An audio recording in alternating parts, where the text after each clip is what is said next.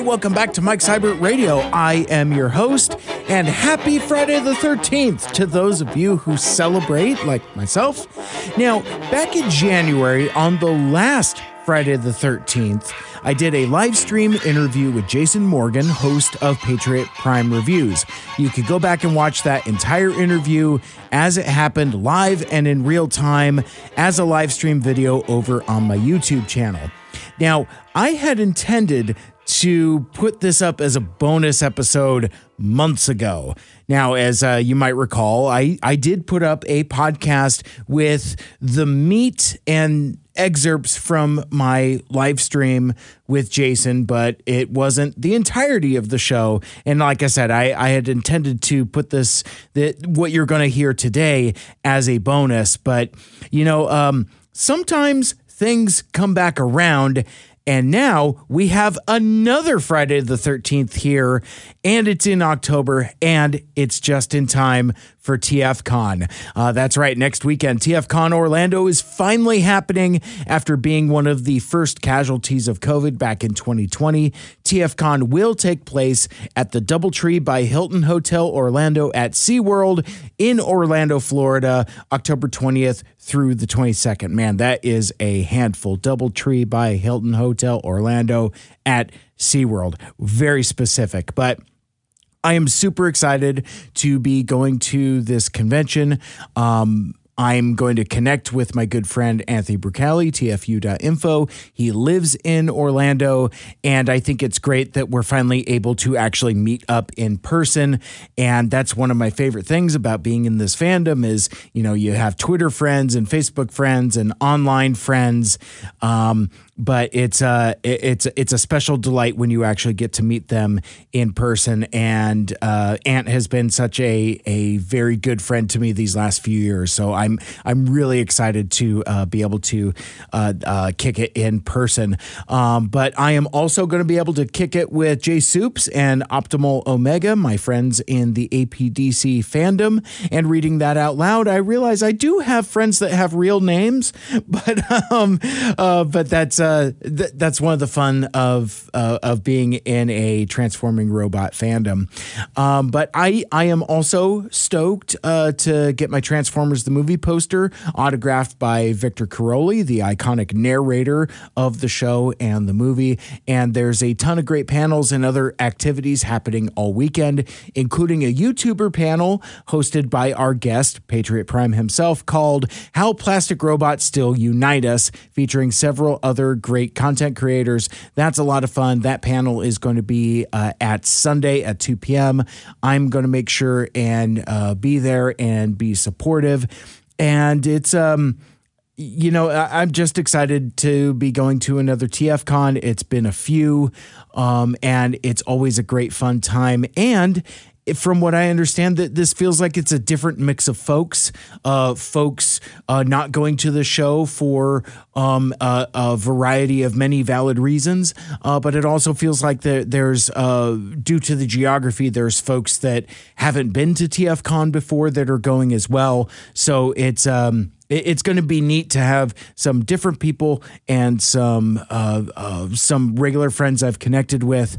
Um, it's going to be a lot of fun. So that's um, I, I, haven't had a chance to really talk about it here on Mike Seibert Radio as much, but I am super stoked uh, to be heading to uh, TFCon Orlando. So, as for this episode, what you're going to hear here, this is a bonus episode, um, and uh, focusing primarily on our discussion about the Friday the 13th uh, franchise, of course, given the day of it. But but this episode here is filled with goodies and bits that didn't quite make it into the podcast that I put out back in January. Now, again, you could go back to that episode uh, back from January to hear me talk to Patriot Prime about um, all kinds of cool stuff, like you know advice he has for content creators, and you know have some of his fandom origins. It's a really great conversation, and now that it's been over half a year, if you haven't heard it, now would be a great time to go back and check it out because it, it, was a lot of fun. But there's a there's some great stuff here for you as well, uh, including our conversation about the Friday the Thirteenth franchise, like I mentioned, but also as an added bonus, just to just to kind of fatten up this episode to like full length, because um, I'm sure it's not going to be until well after TFCon that I'm able to do another episode of Mike Seibert Radio. So I wanted to I wanted to leave you something uh, uh, good and thick uh, so you have a substantive uh, podcast meal. But um, but as an added bonus, uh, Jason has given me permission to share with you the audio uh, from my appearance on Patriot Prime Reviews presents the Sit Rep. That's his live stream show. Um, that you know it's it's an interview show. Uh, he talks to all kinds of folks in the fandom. Um, that was that was a ton of fun. you should go check that out along with his other terrific videos.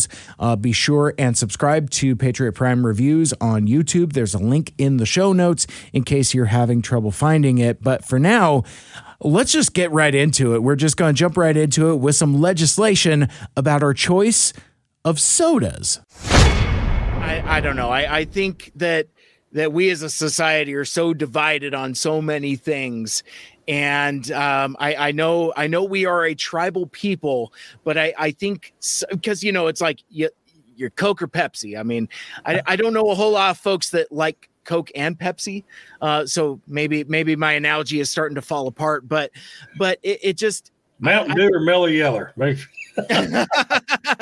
See, ironically enough, I like both Mountain Dew and Mellow Yellow because I had to quit drinking it. This this is water. It, it yeah. used to be on my shows. I always could.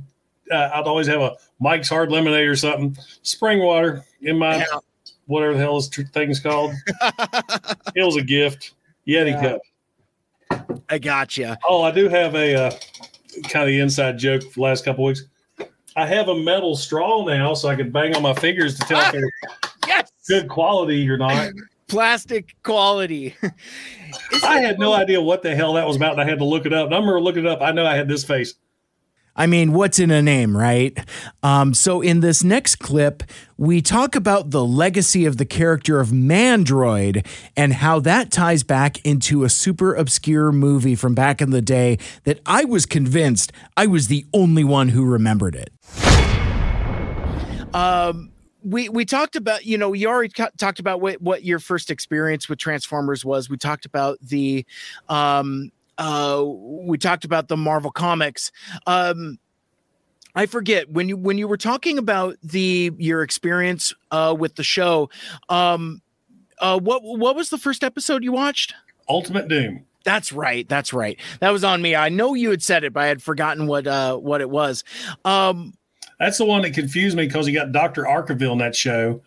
And then, okay, you never saw him again. He just shows up in that episode. Yep. And he shows up in the, uh, I forget the name of it, where he gets turned into more of a cyborg and he's just gone. It's like, where the hell did that guy come from? But yeah. He, he, yeah. And you talk about a, a character that had potential to come back and they just, they just never did. I, I, I wonder if any of our uh, fan fiction friends have uh, have done anything with him uh, uh, further uh, further than that. Um, so yeah, so like okay, let's. I, I like this one. Um, oh my god! I just realized what you got. Earth Spark. That dude, the human with the robot, that's their Dr. Arkeville. They're spinning off on that. Oh, be goddamn! Because he, he has a robot arm as well. Uh, the Mandroid. Yes. Uh, a name stolen from a 90s sci-fi movie. Yes. Yeah, John yeah, Exterminators, remember? Uh, Eliminators. Eliminators. Yeah, yeah. Uh, early uh early Denise Crosby vehicle in Yeah, you got to see some she, side boob. She I, I was going to say she she has a she has a damp t-shirt in that movie and uh, But I I remember that movie very vividly because like the the visual of this this cyborg dude on tank treads yep. and like the the laser eye and the robot arm for some reason that really imprinted on my imagination um a buddy of mine got uh, uh found it on blu-ray and it's and it's in a a two pack with uh I, I think it's a shout factory but it, it's in a two pack with Dungeon Master, Dragon Master, something like that. Some some shitty uh, uh low rent B movie, but um but that Blu-ray actually looks pretty sharp and pretty clean. And yeah, that that that side boob is in crystal clarity. Um, Rewind. yeah, no doubt. But it's uh, and and it's weird though because like you go back and watch the movie and you realize that it's it had to have been uncomfortable uncomfortable for the actor because basically the actor is just laying down on the tank treads, the sled essentially, and he's just pushing himself up like like he's Ariel the Little Mermaid. Yeah, it does it does not look comfortable at all, but like it looked so uh so awesome. You know, when when I was a kid, I was just like, yeah, the freaking Mandroid.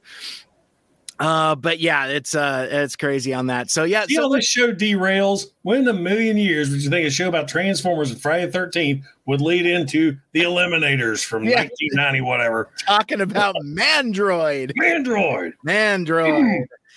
uh, good stuff. So now, knowing that Patriot Prime is a combat veteran as well as a Transformers fan, I had to ask him about that other Hasbro franchise. You know, the one about the real American hero. You know, and and, a side um side tangent because like you know there there there are a lot of uh you know uh, brands and IP that that's connected to Transformers either tangentially or not. Um are you a GI Joe guy? In a way, I mean, I've got all the episodes on DVD and I have all the graphic novels of the Marvel comic series. I never collected the figures, but my brother did. He okay. is a GI Joe fanatic out the wazoo. He he's a he's like me, but with GI Joes. Okay, I gotcha. Because yeah, it, it was kind of interesting because like I I I know folks uh, who have served that are really into GI Joe and I've I've talked to just as many that's like, yeah, no, that that that that's a cartoon, you know, and, and are just like put off by like the the whole notion of a of a um, superhero uh, aesthetic military action force, which just odd, but I, I will I, argue I to this day that GI Joe the movie has the best animated intro of any movie ever made. Yeah, I I, I, I will gladly co-sign. I've, I've had Transform. Oh, you're a Transformer fan. I was like, yes, but that's still the best. I mean, that's a whole story right there with yep. an amazing song that for some reason they never made without the sound effects in it. You can you cannot find that song without all the sound effects in it. Oh, I've, I've tried. I think I've got one. I'll, I'll, I'll see if I can send you a link because uh, I know you can get the instrumental version. Oh, that that's what I'm thinking. I'm talking about the one with the singing without all the explosions and stuff. Uh huh. I don't think they they got one. I I don't think so. I I think you're right because yeah, you can find an instrumental version of you know the music because like I I, I use that in my Toy Hacks Gartan review. I dimmed it down. I said they're going to bust. I'm going to get copyright on this, but I never did. So that's awesome. I, I love that. And and it's so it, it's it's catchy. I love that version of the song too. It's it, it it's great. But and yeah, you're shot so well, it's not shot well, it's animated so well with the you know, you're looking up and there comes the paratroopers and the mm-hmm. camera lens, he's punching it. So I love it. Yeah, I mean it's I, I've I've said in a number of different places. For me, that intro is the finest distillation of everything that's awesome about GI Joe in one brief animated sequence because it, it as you said it gives you a complete story but it also gives all of the characters something to do and the action is just so kinetic. Like you know it's like you go from like you know alpine to uh, uh, to snake eyes to the action on the ground with bazooka. He trips over he shoots the rocket it blows shipwreck's uh, uh, hat off and it and it and it downs the uh, uh, uh the moray boats. And it's just it, it's just i i love that kinetic energy where like everything is sequential and like connects back uh, to everything. And, and, then you go from that intro into the movie, and it's Cobra La and all this weird shit. Yeah, I was gonna say, and then the movie starts. That's like, like I, what other movie? Ghost Ship. Ghost oh, Ship, sure. one of the best intros ever. Oh, horror movie. Mm, and then the rest so of the movie sucks. Yep. Yeah. Hundred percent agree. So like uh, they uh, uh, they put out a, a, uh, Fathom event screening of GI Joe the movie last year, and I went with a buddy of mine, and um, he had he hadn't seen the movie for a while. I hadn't seen the movie for a while, uh, but he he remembered the opening, and so the the opening sequence happens, and I made a joke. I'm like, well, I got everything I need. I can leave now because like I you know I got to see it on the big screen and and that that's what made that screening kind of special too because like as as the story goes, you know, um GI Joe the movie was supposed to come out 1st mm-hmm. but but they ran into production delays, and then they they messed around with well, hey, we want to kill this uh, this Duke character off. Well, well, how about we kill off Optimus Prime first? Let let's try that. Let's test the waters and see how that goes. Well, we saw how it went, and GI Joe went straight to uh, straight to video, but it it was cool to after 35 years to actually see GI Joe the movie in a movie theater as as it had been intended to from uh from the start so there there was just something uh, uh just kind of neat um neat and fun about that so I ended up asking a variety of open-ended Transformers questions during our interview, but but deeper into the conversation, I didn't phrase one of the questions very well. Totally on me. Uh, it was it was just the the way I phrased it. But even so, I actually really liked where this conversation went. Um, but it just didn't quite have a home in the context of the original interview. Yeah, we, we talked about characters, but like if um if you could meet any character from any show, who would it be?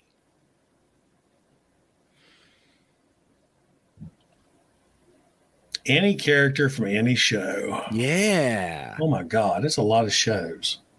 There's a lot of characters. Like who would be cool to have a beer with? I, Mike I guess. Rowe. Yeah. He's no, no fancy character, but Mike, Mike Rowe would be cool to hang with. Mythbusters, they'd be cool to hang out with. Man. That's a good one. Good lord. Yeah, that's Michael Knight. He'd be cool to hang out with. Oh hell yeah! You take you into a, a shadowy world that is not our own. Too funny, man. James Bond. Oh, that'd be cool. that'd be cool. You're looking over your shoulder, like hey, yeah, yeah, exactly, exactly. Um, let's God, see. That's a hard question. Yeah, because it's it's almost too broad. Yeah, I almost need to narrow it down. But you look how many characters, especially back when we grew up in the '80s, how many characters we had just bombarding us. I mean, immediately as soon as I think of '80s, Magnum PI, the A Team, yep. Airwolf, Hunter. I mean, just all these. Just grew up with these guys. Mm-hmm. I look back in the '90s, all I'm thinking is sitcoms. That's all. Oh yeah, all I remember the '90s from. Now, like I said earlier at the beginning of the episode here, we originally did this live stream interview on the night of Friday the 13th back in January. And we knew that at the time, and we had actually planned for it. Um, he's a huge fan of the Friday the 13th franchise. I am as well. I, I'm mostly a retired horror hound. I think contemporary horror is a little too uh, graphic and gory for my taste, but I I have a huge amount of nostalgia and a soft spot for Friday the 13th specifically. I like the the cartoonish throwback nature of it and um, so I thought it would be fun for us to take time out of our Transformers discussion to talk about everyone's favorite hockey mask wearing, machete wielding horror movie slasher icon, Jason Voorhees. And we start with the personal connection that Patriot Prime shares with that iconic character. Yeah, I was born on Friday the 13th, and my name is Jason. It's his birthday. His name is Jason. I don't think that's the line, but Kill him, mommy. yeah, yeah. so good. So, um, you're a, you're a huge fan of of the uh, franchise. Uh, I am as well. It is I I am not a horror hound per se. I I called myself retired. Like I was uh I was huge into schlocky VHS horror movies in the 80s.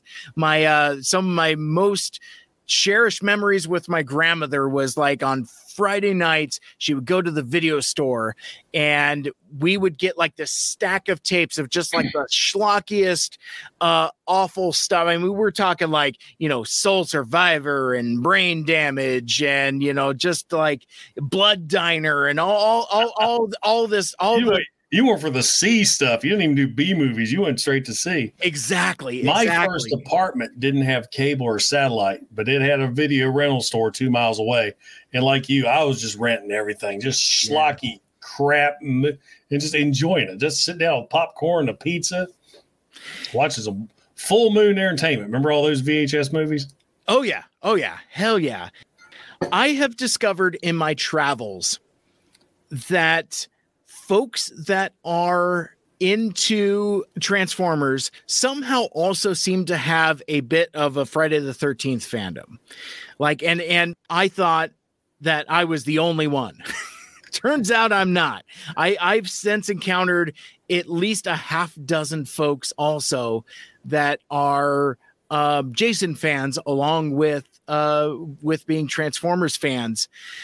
Um yes, nerdy tangent syndrome. That that is consult your physician. It's it is it is a real affliction. I think that we just but, all this stuff came out at that impressionable age of the early 80s. I mean, we got hit with, you know, the Transformers in 84, the Terminator in 84. We had Robocop in 86. Yeah. Um, I mean, just these icons hit. I'm not sure when I never, I got no problem with. I kind of enjoyed the movies. I never was a Freddy fan. I always loved Jason. I yep. just thought it was so cool, and I don't, I don't know. I just I think those came out and they just hit that sweet spot, the early '80s. I mean, you think about some of the best movies, best cartoons, everything, early '80s. Mm-hmm. Yeah, I, I I think it's as simple as that you know and just the simple iconography of the of the of the hockey mask and um I, I, promised you I was going to tell this story on the air, but like I, uh, right before I jumped on with you, uh, I ran into my boss and he was asking me, "Hey, what are you doing tonight?" I'm like, "I'm doing a live stream with a a Transformers YouTube reviewer. He he uh, he reviews toys on YouTube. Oh, hey, that's cool." Um, I go, yeah, and we're since it's Friday the 13th, we're going to talk about Friday the 13th also. He's a huge fan. I'm a huge fan. We're we're going to like get super deep into it. And he's like, wait a sec, hold up. How how many movies are there? I was like, well, yeah, there's there's like 12.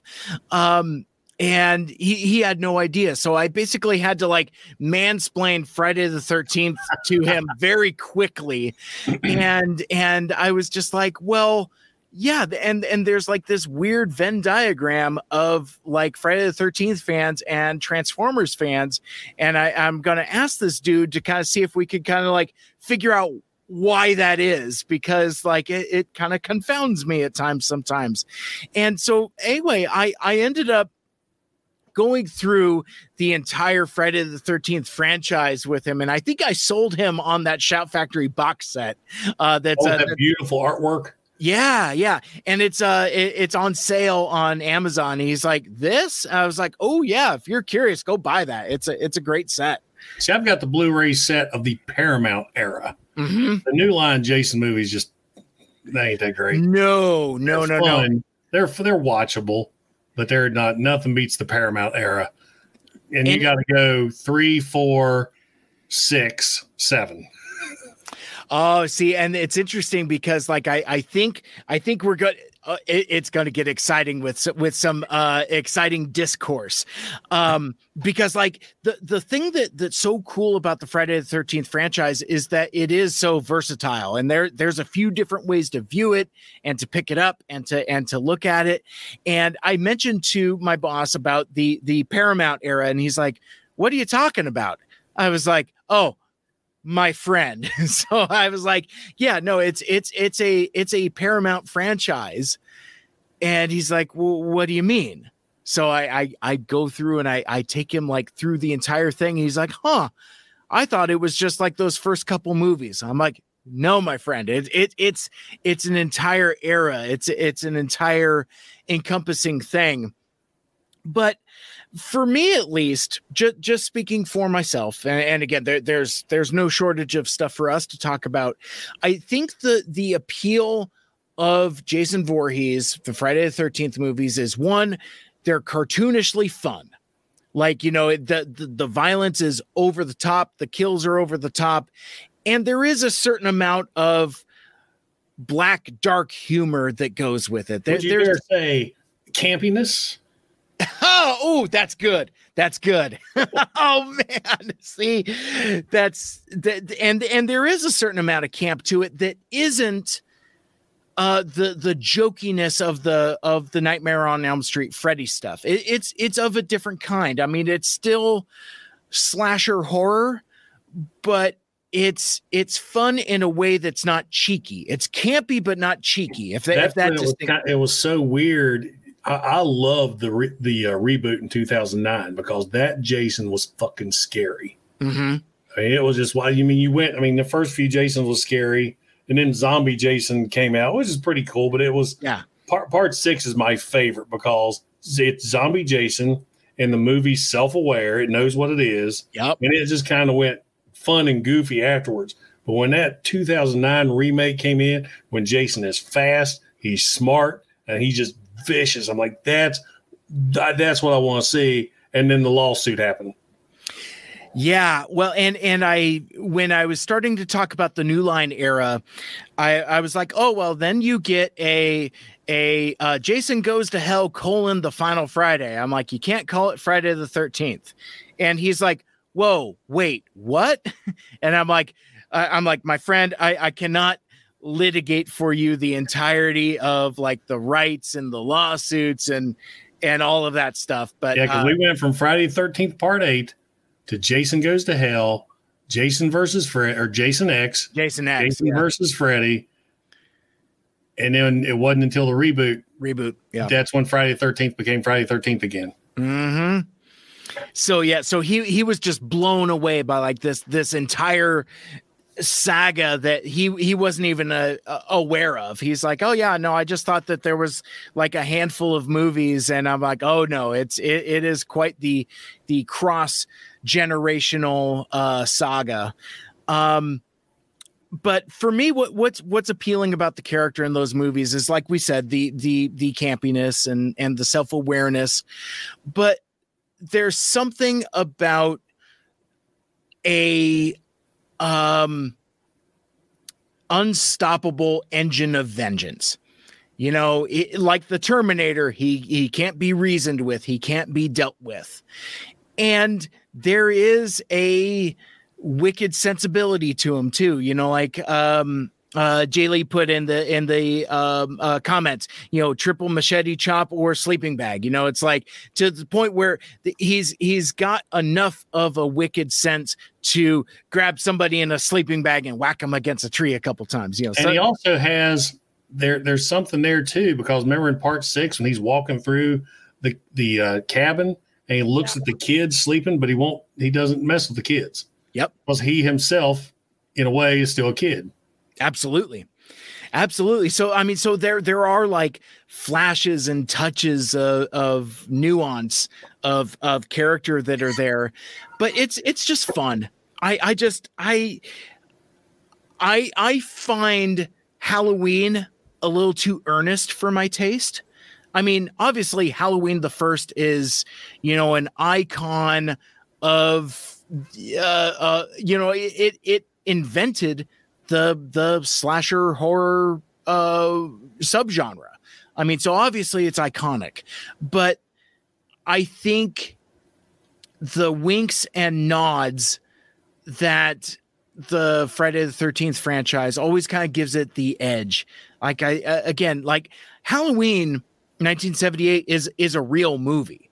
You know, not unlike uh Rocky or First Blood or something like that. You know, it kind of gets diminished by the sequels, but that's a real movie. And I think Friday the 13th is is kind of of a kind with that as well. And like, you know, it takes the slasher genre and pushes it a little further. And you know, you got you got this great twist ending that is just as iconic then uh, now as it was then. And then the the sequels made it something else entirely. But I don't know. I just I I I seem to be me personally. I seem to be drawn to characters that are um unstoppable and don't say a whole lot.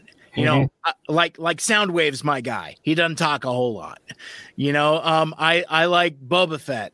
He doesn't say a whole lot, or at least he didn't. He used to not. He used to not, and you know, now now now he's just running around with a big toothy grin on his face, handing fruit to townsfolk. But whatever that's a that's a different thing entirely but like you know I, so my sensibilities kind of are like a, a certain type of character type and i think that jason Voorhees definitely uh, fits into that. So that that's just a little bit of my my Friday fandom. But I I I uh I I turn the uh uh the the floor over to you and please let let's let's talk about Friday the Thirteenth and why you like Jason and and all the all these other cool uh, um uh convergences there. I think you got you got to throw in that music there too. I mean, oh my god, yeah.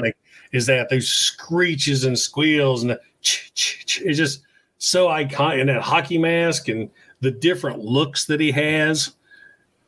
Yeah. What's your what's your favorite Jason? Oh man. Okay. So um let me let me think. Let me think on this because like there there's a couple different ways to to answer it. Because think, you got the Paramount era who they screwed up with part 2 where he t- became hillbilly. And then yes. somehow then he became in number 3. I'm looking I've got him in chronological order here on uh-huh. the show. You know, then he gets his green shirt gray pants and the hockey mask, and he maintains that all the way through part seven. They don't have I don't have a part eight figure yet, but he was all black and oily then. And right, then for right. some reason, New Line said he needs high rise boots and a jacket. yeah, yeah, what's with the jacket? that makes no darn sense. I I think if if I were to pick, and I I I hope I don't get this wrong in front of the super fan, but like I I I think the final chapter look is the most iconic, and for me, I um I like the the single um uh triangle in in the in the center of the forehead. I don't like the chevrons as much. So for me it's it and I I don't remember if he has the chevrons in in final chapter or not, but he does. I've got the replica mask right here. I was in there looking.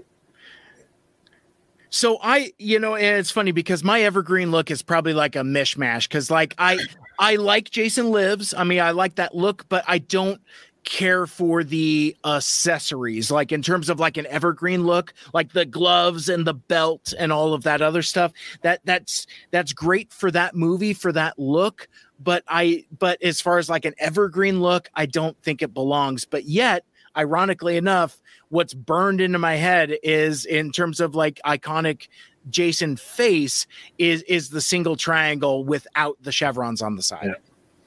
My, mine's number seven when he was full bore zombie. He's got the spine showing down his back. And it's just, of course, that's Kane Hodder's first two. And it's just Jason going,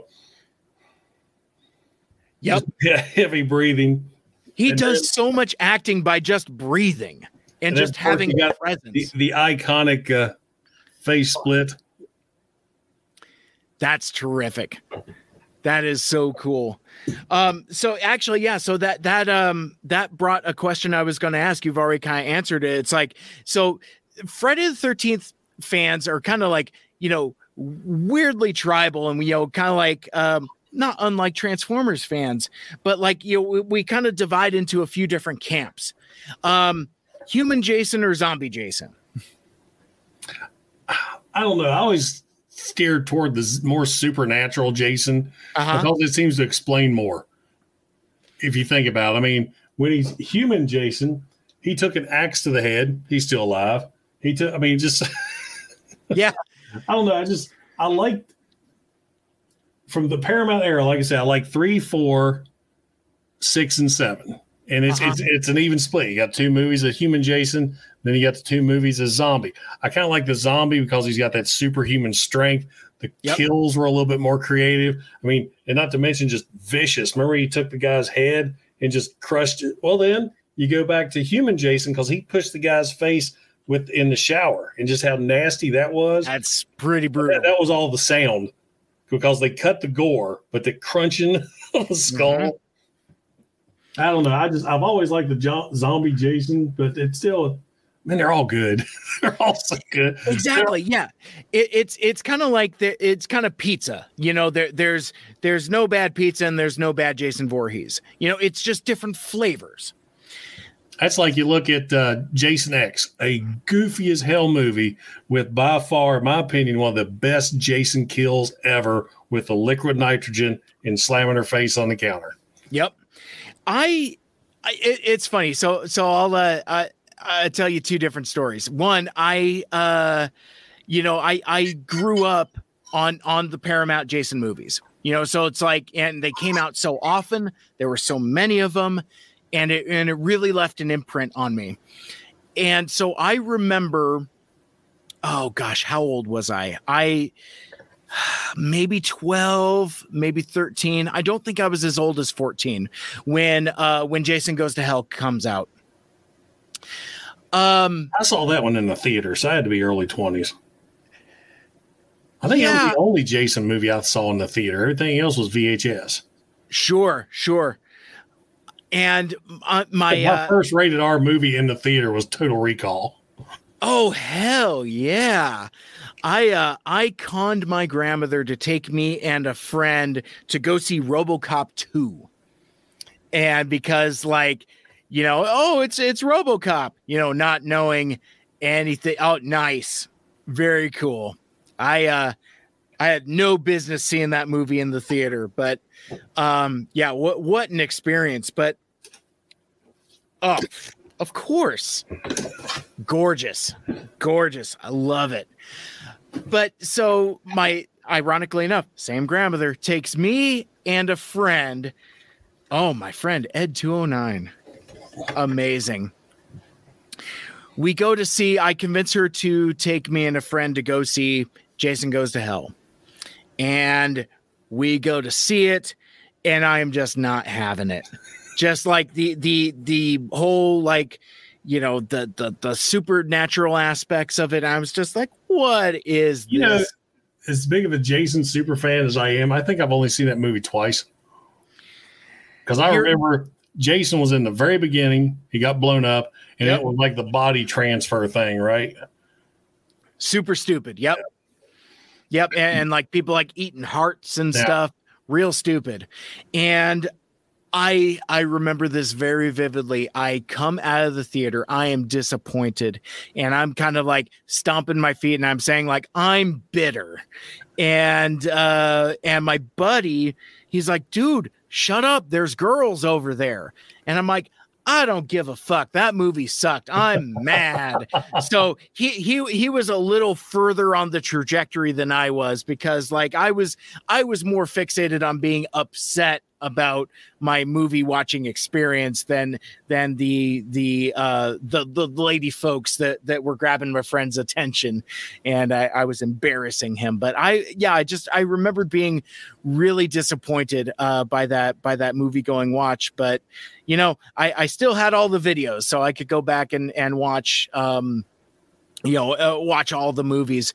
But I I like what I like about the Friday the Thirteenth movies is that they they are just straight up grindhouse movies, and that like you know they were cranking these out one a year, and you know they they just um it eventually gets into diminishing returns, but man, what a what a run of flicks, just um yeah. just just great iconic fun. It was funny if you're watching the back behind the scenes stuff, what they went mm-hmm. through mean, some like Friday Thirteenth Part Four, they put some of those people through hell. And I remember Richard Brooker. No, like I forget that it'll come to me later on, but the actor who was Jason in Part Four, he came to the defense of a lot of the other actors, especially the girls, had to be topless and stuff. And yeah, like, if you don't start treating these girls with respect, I'll walk. I mean, it mm. was. It's interesting behind the scenes. Yet the first Friday the Thirteenth movie, they said that was like a party. Part six was like everybody just had a good time with that one. That was like a party. Yeah. And so the other ones, they just hated each other. Too funny. Richard Brooker, that was part three. What the hell was the guy's name? Oh, I I don't know. Or maybe it was him. To Google. to the Googles we go. Da na na na na na na. Too funny. Now I'm excited. I want to see what happens. I was gonna start googling myself, but I'm like, no, I'll wait. I'll wait. Ted White. Okay, I was right. Richard Brooker is three. Ted White's Jason Voorhees in part four. And he was a stuntman. He did a lot of movies before he hopped in there. And oh, that okay. one scene where he's busting through the door with a hatchet in his hand, just powerful. That that's a that's a great scene. I love it. Um and and what what a interesting trajectory for a franchise. Like, you know, you start off as as like this legitimate suspense horror movie, you know, that's still a slasher. I mean, you got mm-hmm. some like really good kills in there, but then it, it is so weird how it's defined by its end more than its than its beginning. The it, build up. Yeah. It's well, if you look at the very first victim, it's they follow this one girl. She's heading to the camp, and she's I mean, the first 30 minutes is devoted to her. Then she gets her throat slit just right there. Yep. Because you think, okay, that's the final girl, that's the hero. They they pulled the psycho Jennifer Lee thing. Mm-hmm. And it yeah. turned out to be the mom because you'll get people that all the time. Who was the killer in Friday the Thirteenth? Jason. Nuh-uh. Uh-uh. Nuh-uh. Ah, it's good stuff. So, um, man, so many different topics to to to go over.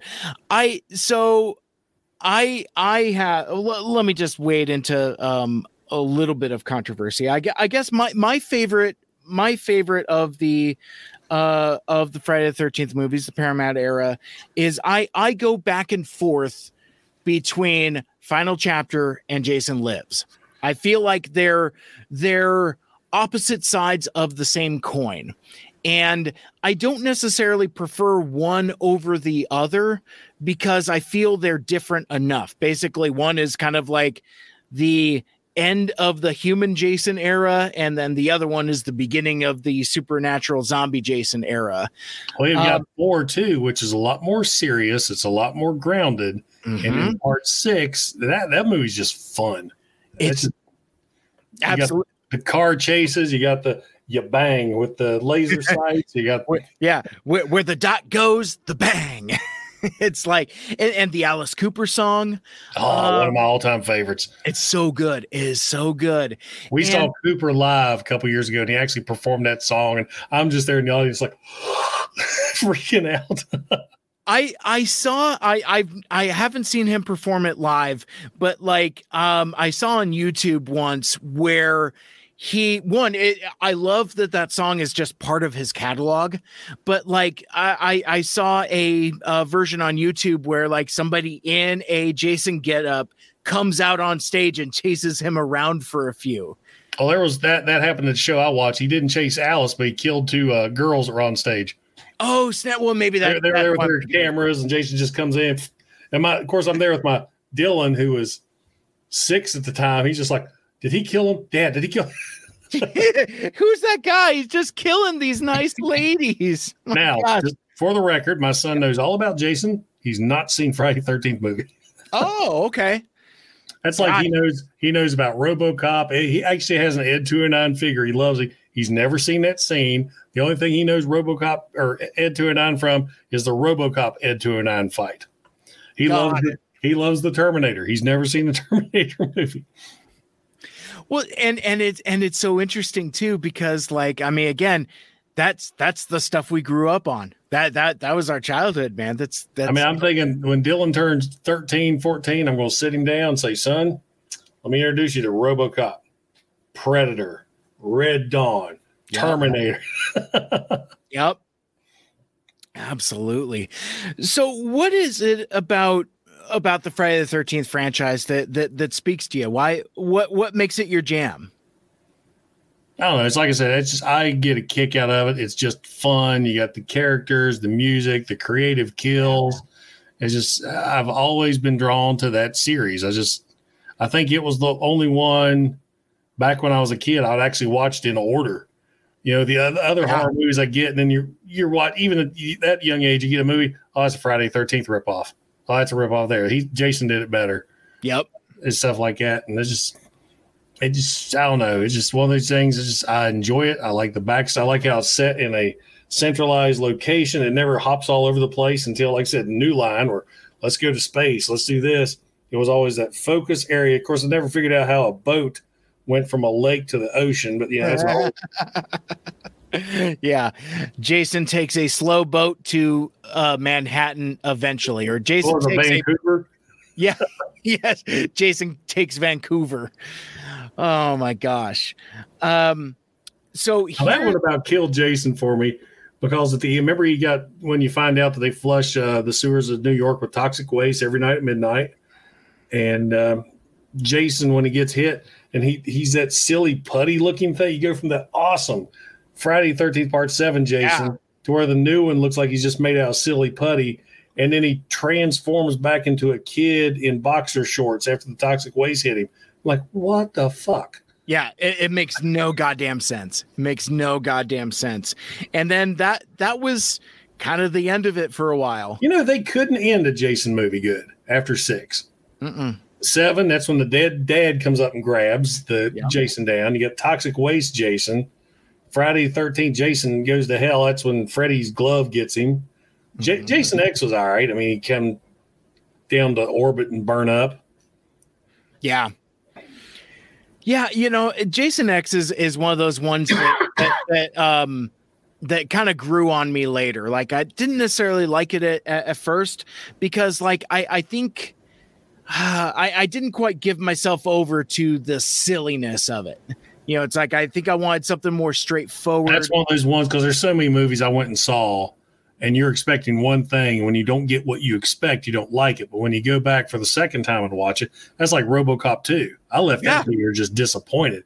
But now man i love it especially like the robo the once you look into it more nowhere as near as good as the first one. Nothing will ever touch it.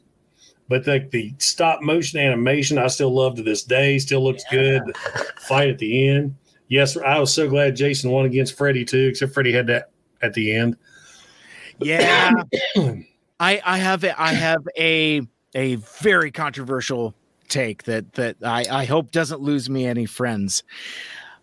I kind of like part 5. I I kind of There's a couple of reasons to like part five. Well, there's multiple couples of reasons mm-hmm. to like part five. You know, it was directed by porn director. Yep. He, he, later said, "Yeah, we're we're we're making a porn in the in the was it? We're making a, a porn movie in the woods because nobody knows what what we're doing. Yeah, and that that was it. Yeah. Um the kill count is really good. The the kills themselves are really good. Um and there there is a version of it that not necessarily in that movie itself but like the the Jason without Jason misdirect thing is kind of a clever gimmick. Um I mean obviously it wasn't sustainable but it it I I don't know. It, it's kind of like the Halloween three season of the witch type of thing. The the Halloween movie without Michael Myers in it. This is the Jason movie without Jason in it, but it's still kind of fun. Oh, I don't know. I like it. Rocky as can be. It's yeah. B movie. I mean, it's it's the campiest of of them. Yeah, there's. I mean, it's it's they got some gruesome kills. The uh, leather around the guy's eyes and oh, those yeah. makeup effects, you you see that digging into his skull. Mm-hmm. I mean, or even like like the garden shears, and you know, it's yeah. uh, and and of course, go down and.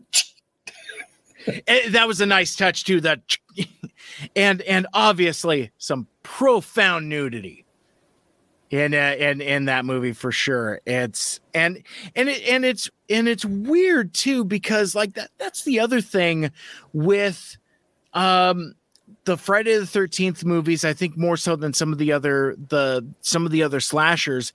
I don't know what it is about a a young man's first experience with these types of concepts. You have like you have both horror and nudity at the, at the same time. And i i don't know what that says about the makeup of of a young man growing up in the 1980s but there those are those are always connected for some reason. Profound nudity and and gratuitous That's violence. like every horror movie given.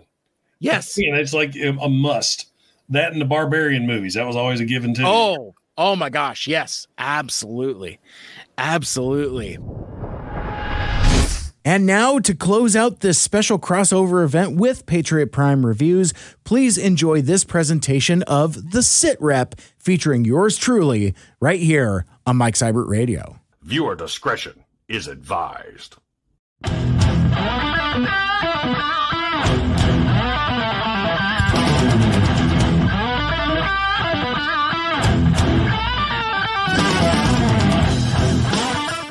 Ah, the intro music. Hey, yeah. what's going on, guys? Patriot Prime here once again with another episode of the Sit Rep. And my guest tonight is Mike Seibert from the Mike Seibert Radio Podcast. For those of you in the know, I was on his show last week and we had such a good time. We talked for two hours, and I thought, you know, I need somebody for a sit rep again. Hell, I'll call up Mike. And Mike was more than happy to hop on. So we're just role reversing tonight. And uh, Mike, welcome to my channel. Well, thank you so much for having me. I I I really appreciate it. And it, it is funny because like you you had reached out to me. We we had had such a blast last time, and it's literally role reverse. We even like flip the screens. Like you know, I I'm on the other side. It's like so. You know, one of the things you said when you were on my show, it's like, well, you know, I, I'm, I'm usually the one answering the question, so it's it's it's it's going to be a little different. And I feel exactly the same way. My my podcast is very interview driven. I love chatting with folks, and but yeah, this is a little different for me because usually I have all the questions and kind of guide the flow. And it is really cool and really liberating to just be on this other side and just like, yeah, hit me with what you got. I, I love to to talk about transformers and all kinds of cool stuff. I and I, I'm also glad that uh, maybe I've uh, directly or indirectly uh, been uh, in, an inspiration for the return of the sit rep because that was one of the things you had mentioned on my show. It's like, you know, I really got to get back into doing live streams and, you know, kind of really, you know, get back on the horse. And so, yeah, so I was delighted that, like, you know, within a week, it's like, hey, man, let's uh let's flip the tables the other direction and so yeah i'm I, am i am really glad. We're, we're gonna have a blast tonight. Thank you so well, much for having me. our show proved last week or just what was going on with us you and i have never talked before other than on facebook and within seconds we it was just that bond. Yeah i mean just it's like i've i've known mike forever. We had such a good time talking i thought hell let's do it again. Uh introduce him to you know my subscribers and my fans because he's got a really good podcast and he's got this damn earworm of a intro song and once it gets into your brain it stays there forever. And i told him last night i'd listened to a couple of his things i was out in the mall with my wife out of town and i was just sitting there humming this song and she's like what is that? And i was like i don't know. What is that? And i realized well, what was going on. Well, oh, Mike, as our um, viewers build here. Got quite a few in the chat right now with Jonas, MC, DJ, ACDC. I'm getting faster at saying that name. Larkin's Lair. Hey, buddy. Johnson, J- Johnson, Chauncey, Jason, Transformers Talk Raw, Johnny Simon, and John Doe 4880. Hello. Happy Thursday.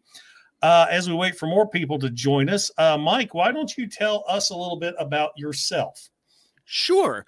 Well, I live in Seattle. I've lived in the Seattle, Washington area for my entire life. So when I say we have the worst drivers in the country, I can say that with some authority because I'm one of them. Uh, but no, I I love the Pacific Northwest. You know, it's like we we have all of the seasons. You know, we, we've we've got uh, you know mild winters and mild summers. It's all very mild. It does rain a lot, probably as much as folks in other parts of the country say it does, but it's you know it, it's fine. I I would I would rather have temperate conditions than uh than than extremes. I uh the the Pacific Northwest culture is one of just kind of just easy going, you know, just kind of like uh um delightfully in the middle. And th- and that's kind of where I'm at. Like, you know, if uh if if we're choosing drink sizes, there's a there's a large, there's a small, and there's a medium. I'm always the medium guy, very, very uh, uh straight down the middle. Um, I've been in the content creation space now for maybe about uh seven years, uh, wow. give or take. I started as a a DJ at a college radio station.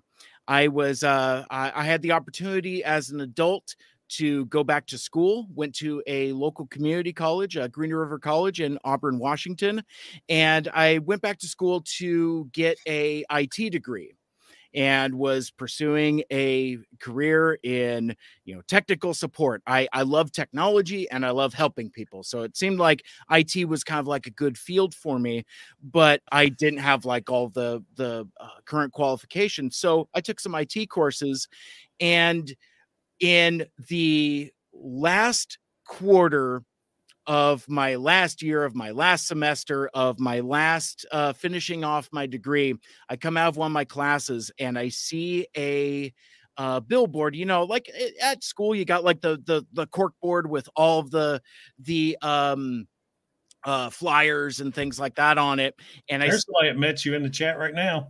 Recognize that name uh, not off the top of my head. Uh, but uh, but that's the one bad thing about YouTube. It's it's their YouTuber names. And yeah, it's so weird. Like when we went yeah. to TF Con, you get to know so many YouTubers by their YouTuber name, and you're sitting there hanging out in the lobby, and that's what you're calling each other.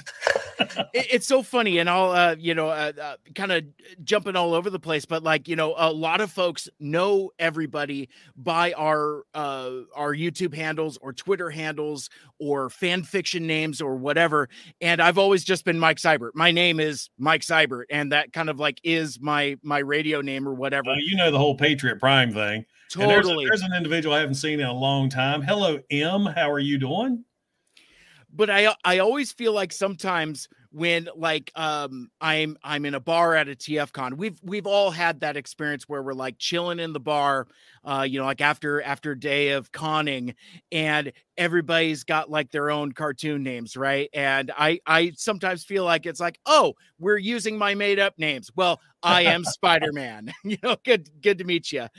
Um, but uh, but getting back to my my uh my origin story, I um I I get ready to finish community college and I see a flyer in the hallway that says be on the radio and it's got a picture of uh, plucky college kids and a control board and a microphone and i've always been fascinated with radio with uh, music radio with talk radio um, you know, I, have I've just been a fan of all that, and it just it just hit me. It's like, well, I need something to do over the summer after I'm done with my coursework. Why not take this class and at this radio station at this college? And I got bit by the bug immediately like you know this uh uh the coursework over at green river college is it's um it's a student run radio station. There's like one faculty member that's the general manager that also teaches the classes that that is just there to to keep the kids out of trouble. But everything outside of that between the music choices the the djs everything with running the radio station is student run. It's it's radio for the kids by the kids. And uh, you you are on the mic and on the controls in week two of the course. And you know, as soon as I talked into the radio, and everybody is awful when they start because it's just like I was about to say you got that radio voice. Do you pick that up immediately, or you you learn to enunciate? I, I had so many people tell me you ought to do that because I can do a good radio announcer voice. I was the guy back when I worked at Kmart years ago. They yeah. got me to do the blue light specials. And when I remember, I told you on, on your show, I was in loss control. Yeah, yeah. And one of the fun things with loss control, I had all the cameras in the store in my office. I was focused in. And one of the things I'd like to do was I'd call in on the front desk and pretend I'm the local radio station. Uh, yep. And they won biscuits for the whole office. So, hey, what's going on? This is J. Patrick J104.5, letting you know that you have won today's biscuit bunch. And they're like, oh, I love it. Now, now are we talking crispy biscuits or crumbly biscuits? Oh, this is West Virginia, man. We got the biscuits that are soft on the inside, crispy on the outside, nice and buttery, and covered in sausage gravy. Oh my gosh, delicious the uh so so the radio voice thing actually comes from my previous life before i had the opportunity to go back to college i wasn't doing radio per se or or announcing but i used to work for a inventory counting company like you know you may have gone to the grocery store early in the morning and you see people with these big calculator machines like counting the bread and stuff like that yeah. that's that's what I used to do. I used to be a uh, manager for the inventory service. So basically, at the beginning of each shift, at the beginning of each store, you have to give a crew briefing where basically, like, you know, you have to talk about what the rules for this account are, things to watch out for. And that's kind of one of the first places where I got a knack for projecting and talking to people. Like if you're if you're running a Target store with a crew of a hundred, you got to project to the folks in the back because like you know my my friends out front will you know will obviously be into it but like the folks in the back it's like oh hey man yeah so uh what was what does mike always say about stickies? Stickies answer questions! You know so it's like you you get the you get the folks into it a little bit so that you know that they're paying attention. So that's actually where like a lot of this comes from I'm also, you know, talking about being in grocery stores or or whatever. Um, we we all know loud cell phone talker guy, right? Oh, that's that's all, me. Pause for one moment, Mike. Here's something that's unique to my channel. Is my friend Princeton Phalanx right here? Phalanx, yeah. who he's sent throwing, me a He's yeah, throwing money at you. He's throwing money at me. So if you uh, watch my show, I always have something goofy as a reward to give folks who like to throw that dollar bills, y'all. You know, they're tucking it in the G string here. There's an image for you. Making it rain. So let's give Princeton one of our favorites. Sure. Here's Soundwave. Thank you, Princeton. Ravage eject.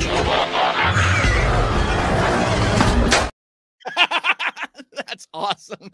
I love it. I love it. I love this show. This is so fun. I mean, you're the the community's already lively. The the chat is hopping. This is great. I, I just want I just want to hang out and like read chats and stuff. Screw this origin story stuff. I, well, if you want, what I like to do is, for those of you who don't know, the Sit Rep is my interview show where I ask a guest ten questions. Sit Rep, situational report. Mm-hmm. I want to know five transformer i have five transformer related questions for my guest and five questions regarding my guest as a youtuber but in mike's case tonight it's going to be podcast. Sure. So if you want to get into that we'll go ahead and start with the questions and if you noticed in the chat at the end in some point after everything's over and done with i have some toy hacks decal sets to give away. I do that from time to time. Everybody likes them and uh, these are two new decal sets that they just recently released. I have a decal set for Legacy Skullgrin to give away, and a decal set for Speedia 500. Drop them in the floor. Override. So two new decal sets to give away at the end of the show. Got to do my Toy Hacks promo. Heck yeah! I, I, just, I hear there's a promo code too. There is a promo code. Let's see, horned out recognizes fiend. Yeah, I try to get the interaction going on here too. All right, my friend. So if you are ready to rock and roll and you're ready for me to ask you some questions, we'll get into this. Hell yeah, sounds great. All right. And if you guys want to interject or however, you can if the question is regarding what we're talking about.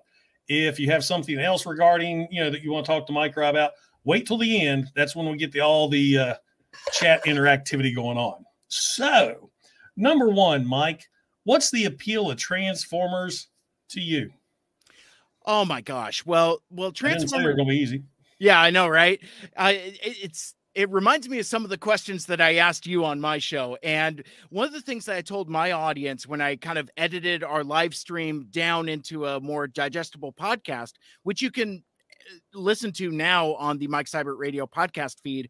Uh, we got half of that conversation there now, and then next week I'm going to drop the other half where we talk more about Friday the 13th and some of the other some of the other non sequiturs that didn't quite fit in with the uh, with the narrative, but um, I, I, try to use all the parts of the buffalo when I can. But um, a lot of the questions, I mean, a lot of the answers that you gave me to my question surprised me like in terms of like your favorite characters and factions and all that but for for me at least what makes transformers special and it's changed um a bit over the years because originally I if you would have asked me this question 5 years ago I would say well it's it's my favorite sci-fi franchise or it's my favorite superhero franchise because you know it's transforming robots and great characters and it's a great gimmick you know it's it's two toys in one and you know talk about like the voice acting and all of that other stuff. My answer is a little different today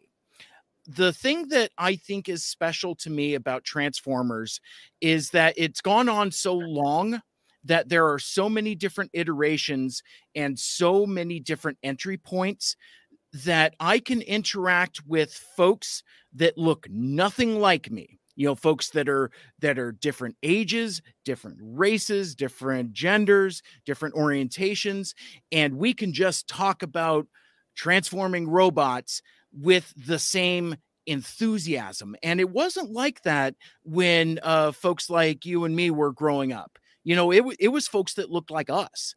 And it's like I, I remember the first time I went to a TF con in 2018 in Chicago, and I I walked into the room and I just saw like young people and young girls and all kinds of like folks that didn't look like me and and it and and it was a delight you know just just to see folks that are different from me enjoying the thing that means so much to me I I had a, I had a conversation recently with someone who is half my age that loves Transformers the movie as much as I do.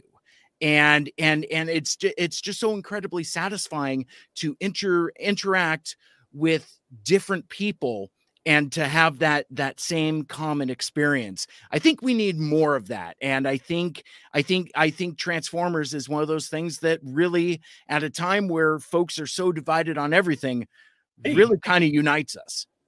Hey we back? Oh, Something oh, did, just happened. oh did we go somewhere? Oh no. I guess. I don't know oh, we froze up for a second. I. I, I, I did want to mention uh, one thing. I saw this in in the uh, comments. Uh, Slow DK put in put in the chat. Hot chicks at cons. LOL. I want to I want to clarify yes. one of my one of my statements. And yes, that that is absolutely true. Absolutely true. But it reminds me of something like I came home from a TF con very recently uh, after Chicago, uh, this last one, this last October in 22.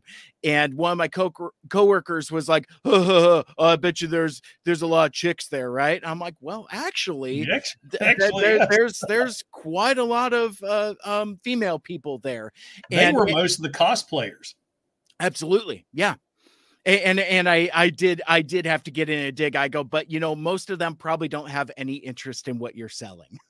That's true. So, you know, it's funny going back into what um, uh, what you just went into, where you yeah. ran into people or that were not like you. When I went to my first con, I was like, "There's people just like me." Because you know, when you're collecting toys and you you kind of keep it hid, you always think, oh God, people are looking at me like the comic book guy from The Simpsons. yes. Uh, absolutely. I mean, like you said, I've met like doing this.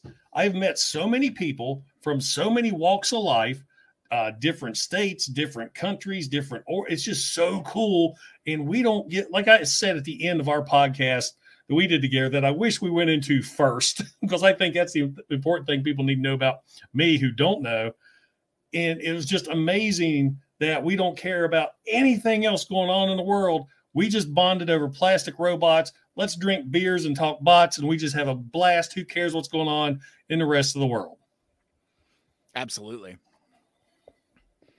So Chauncey put in the in the chat, uh, dude! Exclamation point! You lost him during his rousing speech about TFCon. how, how TFCon can bring us back together. Um, you know um, why? It's because my PlayStation 5 is downloading the game downstairs. Oh no! so you'll just have to have to imagine. Yeah, it's pretty much the same. You know, What's cool? It's the same. Anytime somebody brings that up, it's always the same thing. You're just so surprised that there's people like us that are into this, and we could just bond immediately, like you and I. You're yep. over on the West Coast. I'm over here in West Virginia. When we met via Transformers, and now, psh, yeah, friends for life. I mean, and and I have had so many experiences like that, specifically at conventions too. It's like I I will shake a hand or give a bro hug or or otherwise with with somebody. I'll be like, "Good to see you," and it's like, "Brother, you've never met me before." Oh yeah, that's right. We've been Twitter mutuals for five years.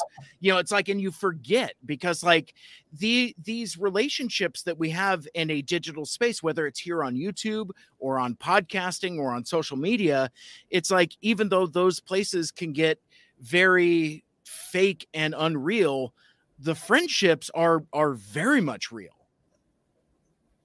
Yep. Fully agree. All right, moving on to question number 2. Aside from G1, which is always the number one answer, of course. What's your favorite Transformers fiction? You know, and, and that kind of slides around a bit too, but I man, that that is a stumper. I, I I'm gonna say the uh the not the last iteration that just ended, but like the uh IDW phase two. You know, kind of kind of like the um uh more than meets the eye uh is that robot, robots off into two different books yeah see that's when i quit reading them because i don't have a local comic shop around here so i was collecting the big hardcover sure books and when it got to the point where they were, you know, they were like $60 books each. And I got to the point where it ended the first wave or whatever. And I was like, I'm done. This is just a good stepping off point for me right now. Exactly. So my jumping off point was the reboot in 2019. I was like, nah, I, am I'm, I'm done. And really, even then, it, the the the wheels were getting really rickety uh, towards the end there when they were doing all of the Hasbro crossovers, like the you know like uh, uh, revolutions and revolutionaries and and and and all of that. It's like I I like a lot of those IP. Uh, I I'm a huge GI Joe fan, and I think Mask is a a totally underutilized IP, but I just I didn't care for the way that IDW kind of like crammed things together. I'm not a fan of uh crossovers being so deep that it loses sight of the uh, of the main book. Like there were Transformers characters that died in a GI Joe comic that like if you had not read that GI Joe comic, you would have you would have no idea. So that, that's like Marvel G1. Remember the GI Joe versus Transformers miniseries? They killed off Bumblebee. Yeah. So if you if you didn't read that series and was just reading the G1 books, you're like, okay, where's Bumblebee and why is he Goldbug now? And they just showed up at Goldbug exactly. Yeah. Um, but but I I liked the character building, um, and it gave a lot for fans and the fandom to latch onto. Um, so I, I I like that, and I I especially appreciated the the writing style of the more the meets the eye comic. Uh, what James Roberts was doing, he added kind of like a, a quirky Red Dwarf Star Trek vibe to it, um, with kind of like this gang of misfits, uh, which I really appreciated because like it was you know it it was B, C, and D list characters. You know, there's no Optimus, there's no Megatron. Well, not right away, but you know, it's like it, it's it's a crew being led by Rodimus. And you know, Ultra Magnus is his number two, and you know he's very put upon. And uh, the dynamics I, ju- I just found really fun, and you know, with, with all these different uh, entry points, I found that a lot of younger folks have latched onto that as well, and that's that's made me appreciate it even further kind of seeing it through through their eyes and their perspective. Cool. All right back to the toys. Yeah. do you have a favorite figure or grail in your collection? One figure you will never let go of? Say you have to sell everything. This mm-hmm. one figure is not going anywhere. In christmas of 1987 I, I love telling this story. I so I I had unwrapped all my gifts. I got I got a bunch of Transformers, I got a bunch of GI Joes, and and whatever else, probably some Ninja Turtles too. But like the the last gift, the the end boss Christmas gift was this large rectangular box, and I'm very excited looking at this box. and I swear it's it's a Nintendo Entertainment System. I'm getting the action set with maybe it's got the the Rob the robot that nobody actually wanted, but the rich kids had, or and it's got the zapper in it. It's like, oh man, Mike's getting a Nintendo. I peel back the wrapping paper. It's Fortress Maximus. And the the box size is very, very similar. And um, it was one of those things like we, you know, we were uh, I, I, don't want to say we were poor i don't say want to say we were rich you know it was like you know very, very much in the middle but like something like fortress maximus was just way off my list i didn't even write it on my list because i figured at that price point for and the size of it that was just so way beyond something i could even dream of but like you know like my my aunt and my grandmother uh, uh got together and and got me this uh this fortress maximus and just it just made that christmas for me. And he's he's uh incomplete. He's well loved he's very yellow. But uh but yeah it's uh the the crown jewel of my collection is my g1 fort max and i That's still awesome. have him and i still mess around with him. Um he's still got those tight ratchety rickety joints. It is it is so. You cool. see my review of him? Of course, I have the reissue, and yeah. he had them tight ratchets too. And I'm a big mm. dude. I'm sitting there fighting. yes and and even now like i mean i i haven't i haven't transformed him in years i'm almost afraid to because like even when i was a kid those ratchets were stiff and i feel like if i try to push it too hard i might break it so uh, but yeah it's like th- those are some of like you, you want to talk about childhood moments they're transformative all you got to do is click a transformer's arm and then suddenly boom you are transported back to being yeah. a child again because it's a tactile sensation it's a it's a sound and it's like everything all tied together that that that is childhood right there man man that's like when I, I just got this guy i have pulled with Starscreams for years i mean i had yep. an original back in the day i don't have an original now but i have the one that came out in 2003 the toys r us reissue i have that yep. one but just opening this guy the other day, transforming him once again for the first time straight out of the box, instantly I'm back to 1984. Yeah.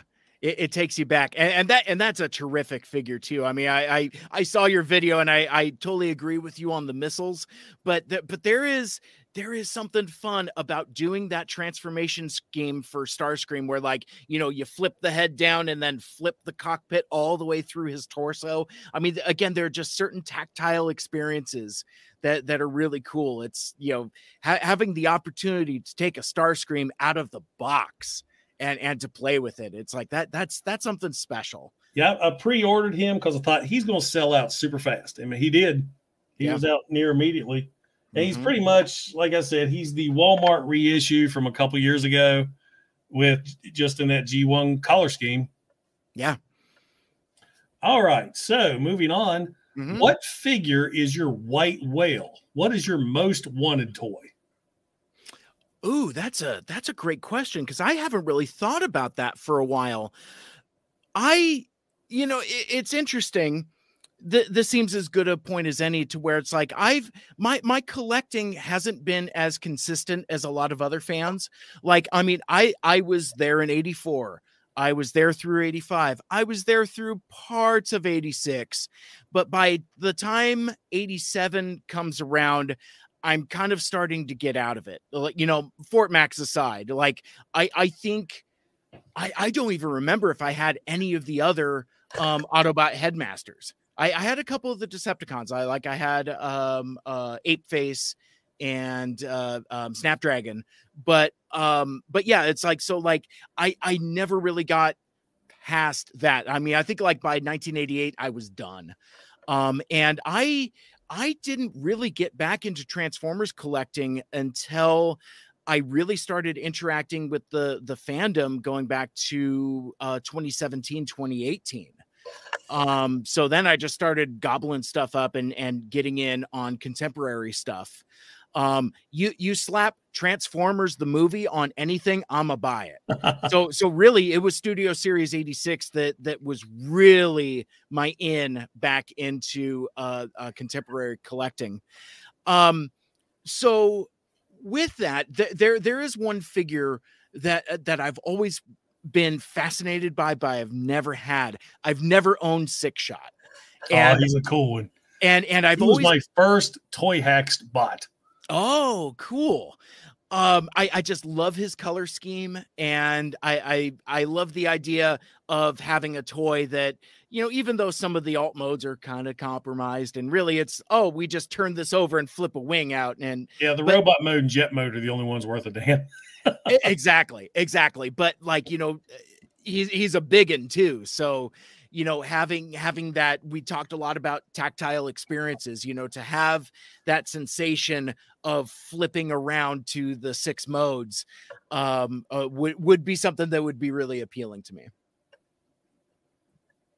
All right so let's wrap up the uh, last of the transformers questions. What's your favorite transformer character from any fiction any fiction any media? What's your favorite character well, I am grateful that after these hard questions, you finally gave me an easy one. No matter where he is, what iteration, what version, what changes, Soundwave is always my guy, all across the board. Um, you know, from from the G1 with with the Frank Welker vocoder voice to the Marvel Comics movie, uh, Marvel Comics version that occasionally has a mouth. Um, but and, never and did much. Yeah, and and and even some of the later versions, like uh, even like when he shows up in uh Transformers Earthspark, rocking that revenge body, you know, it's like you know he's he's he's just a great character. I mean, I, I think for a lot of us, it's the voice, but I think also it's that dynamic of him being really his own self-contained strike force. Like mm-hmm. he's got an army of little dudes at his own disposal. And that's th- th- there's an appeal of that there. And, and when you had all those cassettes, when you played with him as a kid, it was nothing for your imagination to just pretend he's firing those out. Oh yeah. Yeah, it's it's like that gif where it's just the endless tapes just uh uh spitting out and and even the character work like all of the tapes had unique personalities, you know, and or even like the stuff where like, you know, uh, uh Laserbeak has like this uh, uh relationship with Megatron and you know, it's it's just just really cool characters that come from this one awesome character. So And you think about Soundwave came out in 84 and uh-huh. I don't think he was re-released again. He came out in '84, and yet they still kept making cassettes for him all the way up until '87. Yeah, with, yeah, I think it was uh, Slugfest and Overkill were the last ones in '87. Mm-hmm. Mm-hmm. Yeah, I mean it, it's crazy. You know, uh, Soundwave had been discontinued for years, and yet they're still making Decepticon cassettes. Um, yeah, I, in fact, I I think I am pretty sure that Soundwave was my first Transformer. I, I have I have vivid memories of my fifth birthday. Um, my birthday's on September 15th. So it's like I um I, I don't know if this is a weird Mandela effect or not, but it's like I have vivid memories of like getting like the the the Ewok village and uh and a bunch of Star Wars guys, and then like opening up this larger box and seeing that Soundwave. I was like, oh, holy smokes. And I also have this memory, I think it was a Saturday, like I think the Transformers cartoon was on TV at, at that at that time as well. So having all of that stuff kind of coalesce at the same time really kind of imprinted Transformers on me uh, uh, very early. Plus, he, he's a radio guy. So it's like, you know, and that, and, and I will say, and I, uh, you know, maybe I'm going to stop some tweets here, but like Soundwave is a cassette recorder. Blaster is a boombox. Soundwave is not a boombox. Yep. That's why, you know, espionage, he was recording. I always yes. liked the Marvel comics. Well, no, in G1 too, the cartoon. They oh, always yeah. just picked him up, just ran it. Oh, here's a cool cassette recorder. Let me take it in this top secret base. Yep. Not it's a radio. Like when they tell me, like at my job, if you find a USB in the parking lot, do not bring it in here. It's like, okay, that normally doesn't happen, but okay. Yep. All right. Well, that wraps up our Transformers question. Oh, one thing I wanted to bring up too. We talking about Soundwave. I just thought of the original Soundwave came packed with Buzzsaw. Yeah. And it just seems like ever since Hasbro has a thing against Buzzsaw. We never get a Buzzsaw figure. Well, you not only not only that, but but uh, sound I, I uh, Buzzsaw gets no love in the fiction. Hmm. It's it's like so, and and I I think a cynical part of me thinks that they were really trying to push Laserbeak over Buzzsaw so that you had to buy the two pack with Laserbeak and Ravage, even yeah. though you already had Buzzsaw. But if you, but if Buzzsaw had a role in the cartoon, like like think of this alternate reality where all the Laserbeak moments are Buzzsaw moments, you would feel no compulsion to want to buy. You know, I can only think I ever seen Buzzsaw was in the Ultimate Doom. Yeah, that that may and be the only appearance. If you remember, his bio was awesome because mm. he was sadistic. He enjoyed slicing bots and humans apart with his razor sharp beak. Why mm-hmm. he was called Buzzsaw. So maybe that's why they didn't put him in the comics and show. You got a friggin' Leatherface running flying around. Bob Budiansky was out of his mind. Some of the stuff that he would come up with. I mean, we talked a lot about that on my show when we were uh, talking about how violent the the Marvel comics was, and like you know how like you know Prowl's arm was all shredded, and you see the cables and viscera and all that. It's just just terrifying stuff. Yep, and I loved every bit of it. all right, well that wraps up the Transformers questions. Let's get on to you as a internet personality. Sure. So, uh first question with this is what possessed you, a grown ass man, to talk about Transformers on a podcast? Well, it's interesting, and this actually dovetails with the the origin story I, w- I was telling earlier in, in the show, in that it um talking about Transformers specifically is something that came later. So what happened is I I had this this uh, college radio show where where I was a DJ playing today's rock and it'd be like, "Oh, hey, you know, coming up next it's, you know, uh, uh, Sleeping with Sirens and then after that here's a block of Motionless in White. You're listening to KGRG 89.9 FM. Today's rock." You know, that that kind of stuff.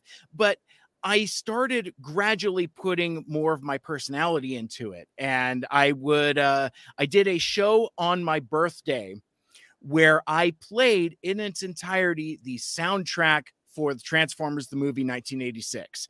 And and my show was on late at night. I was on from like 9 to midnight or something like that. So for like the last hour when like nobody is listening, I, I brought in my CD and I did like air breaks in between each song. I was like, well, you know, this on the soundtrack it's called Spectre General, but did you know that this this uh, band was originally called Kick Axe, but you know, Scotti Brothers Records couldn't have like a band called Kick Axe on a soundtrack for a movie about transforming robots for children. Here's here's a song called Hunger. You're listening to KGRG FM on 89.9. Uh today's rock. And um so anyway, so so that was kind of like one of my first little bits of uh Transformers, but in uh 2017, 2018 I think I started getting involved with uh the larger fandom. I I discovered other Transformers podcasts. Well, I discovered that there were Transformers podcasts. And then later I discovered there was like Transformers YouTube, Transformers fandom, all this stuff that because of the way I was in my 20s and 30s, I was very career focused and didn't really spend a whole lot of time on the internet.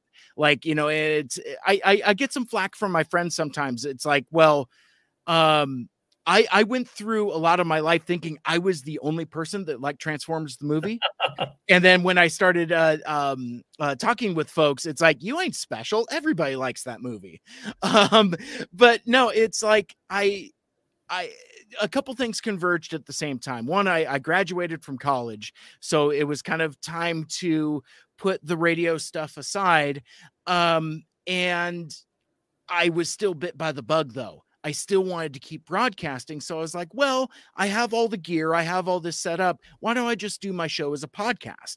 So, really, what the early versions of Mike Seibert Radio was, was it, it was just kind of like a non broadcast radio version of my radio show.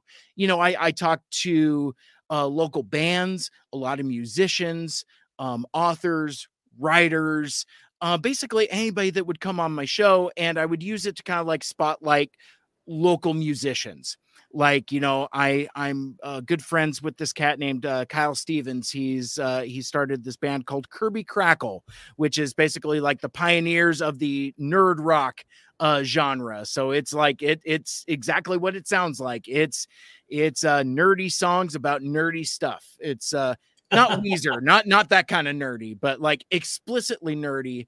Um, and this guy was ahead of the curve before like nerd culture became pop culture, that kind of thing. So I was into that. He was into that.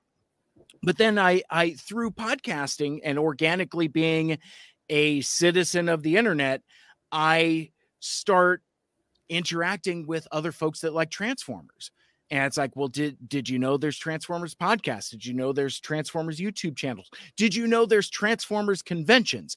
I had never heard of tfcon like i i remember reading like wizard and toyfare magazine in like the mid 2000s and seeing something about like like a botcon or something like that but it was always so far away from me that i was yeah. just like well i'd never go to a botcon. They were always um, in new york or la exactly Exactly. So yeah, it was it was just so far away, but um really the focus of my podcast changed when my interests changed. So instead of being so focused on uh music and movies, it gradually shifted to Transformers. TFCon for life. I love it. I love it. TFCon is a great show. I, I really like what they do with it. It's uh it is such a great environment for uh for fans. I have some like last time we went the first TF con I went to, I went to all the panels and I uh, you know everything. But the second one, I just went to hang out. I didn't care about what I was buying. I didn't care about shows or of course I wanted to meet Gary Chalk and I wanted to get uh, Vince DiCola's autograph. But other than that, I just wanted to hang out with the people. Exactly. Like one of the things that I bring with me to TFCon is I have a um you remember the the fathom event screening of transformers the movie a couple years ago? Mm-hmm. um and and they gave out as a souvenir a a poster of uh, of the current blu-ray dvd cover. And i took that poster and i've been having it autographed by folks specifically that were in the movie. So it's like so there's a lot of voice actors that i've passed on and and other personalities but it's like if they're in the movie um yeah, I, I terrific question from Chauncey here. Are there cons in Seattle? I have friends and clients in Seattle, and it's driving distance. Seattle is a really great nerd community. There's all aside from cons and small cons. Um, there, there's all kinds of like nerd adjacent stuff, like nerdy bars and pool halls and things. Uh, we, there, oh, uh, we, we've got we've got like a thriving pinball scene here where there's like pinball bars and stuff. Um, but uh, specifically to the cons, uh, there's a couple things I could speak to. Obviously, Seattle is the home of Emerald City Comic Con, which is I I don't know in terms of number of size if it's not top 10, it's at least it's probably I said that backwards. I was going to say if it's not top 5, it's probably top 10 for nerd pop culture events in terms of like attendance numbers. It's it's it's it's not quite San Diego Comic-Con, but actually now that the city of Seattle has spent 2 billion dollars expanding the convention center to where it's now double the size, I'll be interested to see how Emerald City Comic Con grows. But they um uh it started as a comic show, a kind of back to basics comic con. And much like with a lot of these other shows, they grow, they get bigger, they get more notoriety, and eventually get gobbled up by a mega corporation. They're currently owned by ReedPop. Um, so it, it is just one of the it, it's another jewel in uh in Reed Pop's Infinity Gauntlet of of mega conventions. But but Emerald Con is a is a, is a great show. Like you know they they bring all kinds of celebrities. It's it's a great place to connect with fans and comic book creators. Um, so I uh, yeah, and um um I see in the chat too. Yeah, I'm uh, seeing that. PAX West as well. Um, in fact, uh, it, it, PAX Prime. I mean, I mean, PAX starts here in Seattle. I mean, and, and a lot of folks uh, kind of forget that as well. But like on the on the Transformers uh kick, Orlando. I'm planning on Orlando. Nice. Um, I might be going to Orlando as well. I don't know yet. I might be going to LA as well. Maybe I don't know yet. But um, for fans here in the Pacific Northwest, uh, specifically the Seattle area and close to it, we do have a unofficial Transformers convention. It's called Cybfest Northwest, um, and it's happening this summer, July eighth. So shortly after Rise of the Beasts opens, and it's uh, we're actually celebrating our 10th year and the reason why i say we is because i i'm part of the organizing uh, no. team there. So, uh, so th- this is kind of like organic plugging, actually. But no, uh, uh, cybfestnw.com is the website. Um, you can find out about us. It's it's basically it's a it's it started as a a dealer show, and that is the primary focus. Uh, we have vendors from all over the area come in uh lots of local homies lots of lots of great cool stuff uh there um even returning vendors surprised me with the amount of stuff that they find in their collections to sell year after year. It's like I didn't know you had that. Oh no, I bought it to sell at Cybfest. But uh, but no, it's it, it's a terrific dealer show. But in the last few years, we've added panels and discussions. Um, I've done some interviews with uh, some uh, artists that have worked for IDW that just happen to live in the Seattle area as well. Um, and and it's a really great time. It's a it's a medium small show. So if, if like TFCon is a big small show or a small big show, um, Cybfest is is medium small. Um, you know, it's like it's a big dealer room that that's basically a convention uh, convention center, community center. Big Freudian slip there. It's a gym like like you could see like the paint for like the basketball and and all of that other stuff it has a very local homey feel to it. Um, so anyway, that's uh, that's happening July 8th um, at the Kent Commons Community Center here in uh, the Seattle area. If you want more information about it, the website is cybfestnw.com, uh, dot com, and that's uh, spelled S Y B F E S T N W. Uh, dot com but yeah it's uh it, that that's a great local convention and there's um gosh, I could probably take up the entire rest of the stream just naming off little shows, but but there's there there is a thriving micro convention of a scene for nerds here in the Seattle area in the Pacific Northwest. If uh if you want to know more, uh hit me up on socials. I'm I, am i am at Mike Seibert Radio. You know, I can um I'll I'll DM you. I'm I'm on Facebook, Twitter, Instagram, wherever. Uh send yeah, me real quick. Uh yeah Mike needs some subscribers on his YouTube channel. Oh, and, yeah. Uh, we'll put a link to the channel right now in the chat if you guys want to check him out. He does his podcast where he does like live shows. He did one with me. Mm-hmm. Then he'll edit it and actually put it on his podcast so you can watch the podcast on his YouTube channel. And then he can link you to his uh, different podcast sites. And what's that on Apple? Uh, yeah, it's uh, it, it's pretty much everywhere you can find podcasts. Uh, it's on uh, Apple Podcasts, Google Podcasts, Spotify. Oh, wait, wait, wait. That's question 10. Oh, okay, never mind. we'll get to that in a second. I'll get a sec to, to say it again then. But yeah, any just just for just search for Mike Seibert Radio using the spelling that you see on your screen, and you'll find me. I, I'm I'm the the Transformers guy, not the Mars rover guy. Uh, so like the, the Twitter handle at Mike Seibert is is the one of the guys that worked on the Mars rover. Um, so I was like, you know what, he can have the handle. I'm I'm fine with that. All right, we're rolling on down again. There are thousands of toy reviewers on YouTube. Well, let's see. How can I reword this for you?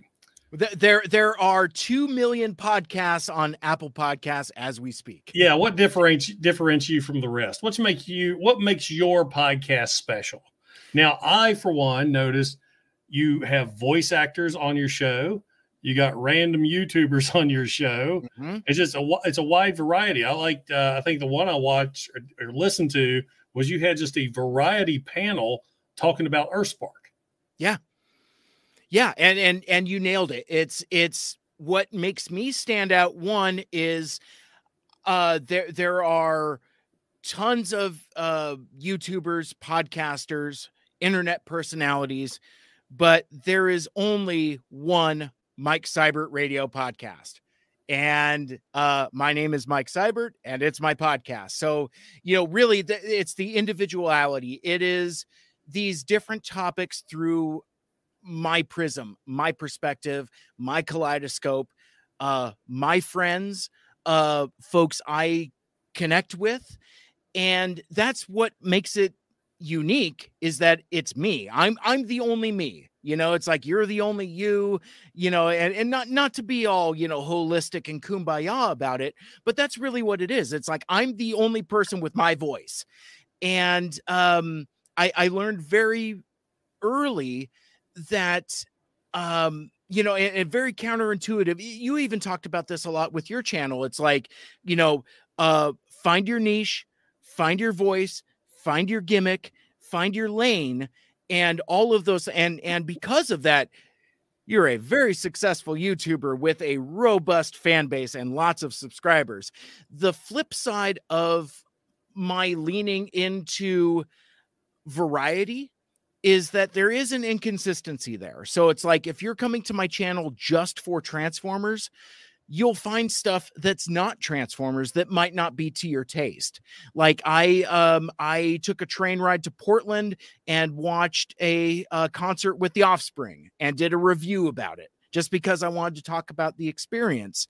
Now, if you're a Transformers fan and you could care less about the Offspring, that episode isn't for you. But what I what I've discovered and and we talked about this a lot on on uh my show is that I've learned that my friends, my fans come to my show for me. They want to hear me talk about something. So it's like, even like when I do movie reviews, it's like, well, you know, so many other folks have already reviewed this movie. I, I don't know. It just feels like it would just be, you know, uh, entering into an already crowded space. And I have a number of folks that are really close with me that will DM me and say, well, don't be like that. We want to hear from you, even if it takes longer. I want to hear your take on this movie or TV show or action figure or concert or whatever. Um, but that's what makes me stand out is that it's it's it's the world through my perspective and i like to create a platform to help independent arts. Um you know like i i interview a lot of folks that have kickstarter projects. You know it's like so yeah let let let me give you a platform. Let me give you something that you can share on your socials to learn more about the project and hopefully you know maybe maybe get some more eyes on something. And and and that goes all the way back to my college radio days where we played a lot of independent musicians. So i think that's kind of where that in, got ingrained with me interviews as promotion. So it's like even now the stuff i do with mike seibert radio that's still kind of like tied together. So it's like even when patriot prime is on my show yes I'm looking to interview him and get to know him and and become fast friends, but I also want to let my audience know about another really cool channel that they might not have seen otherwise.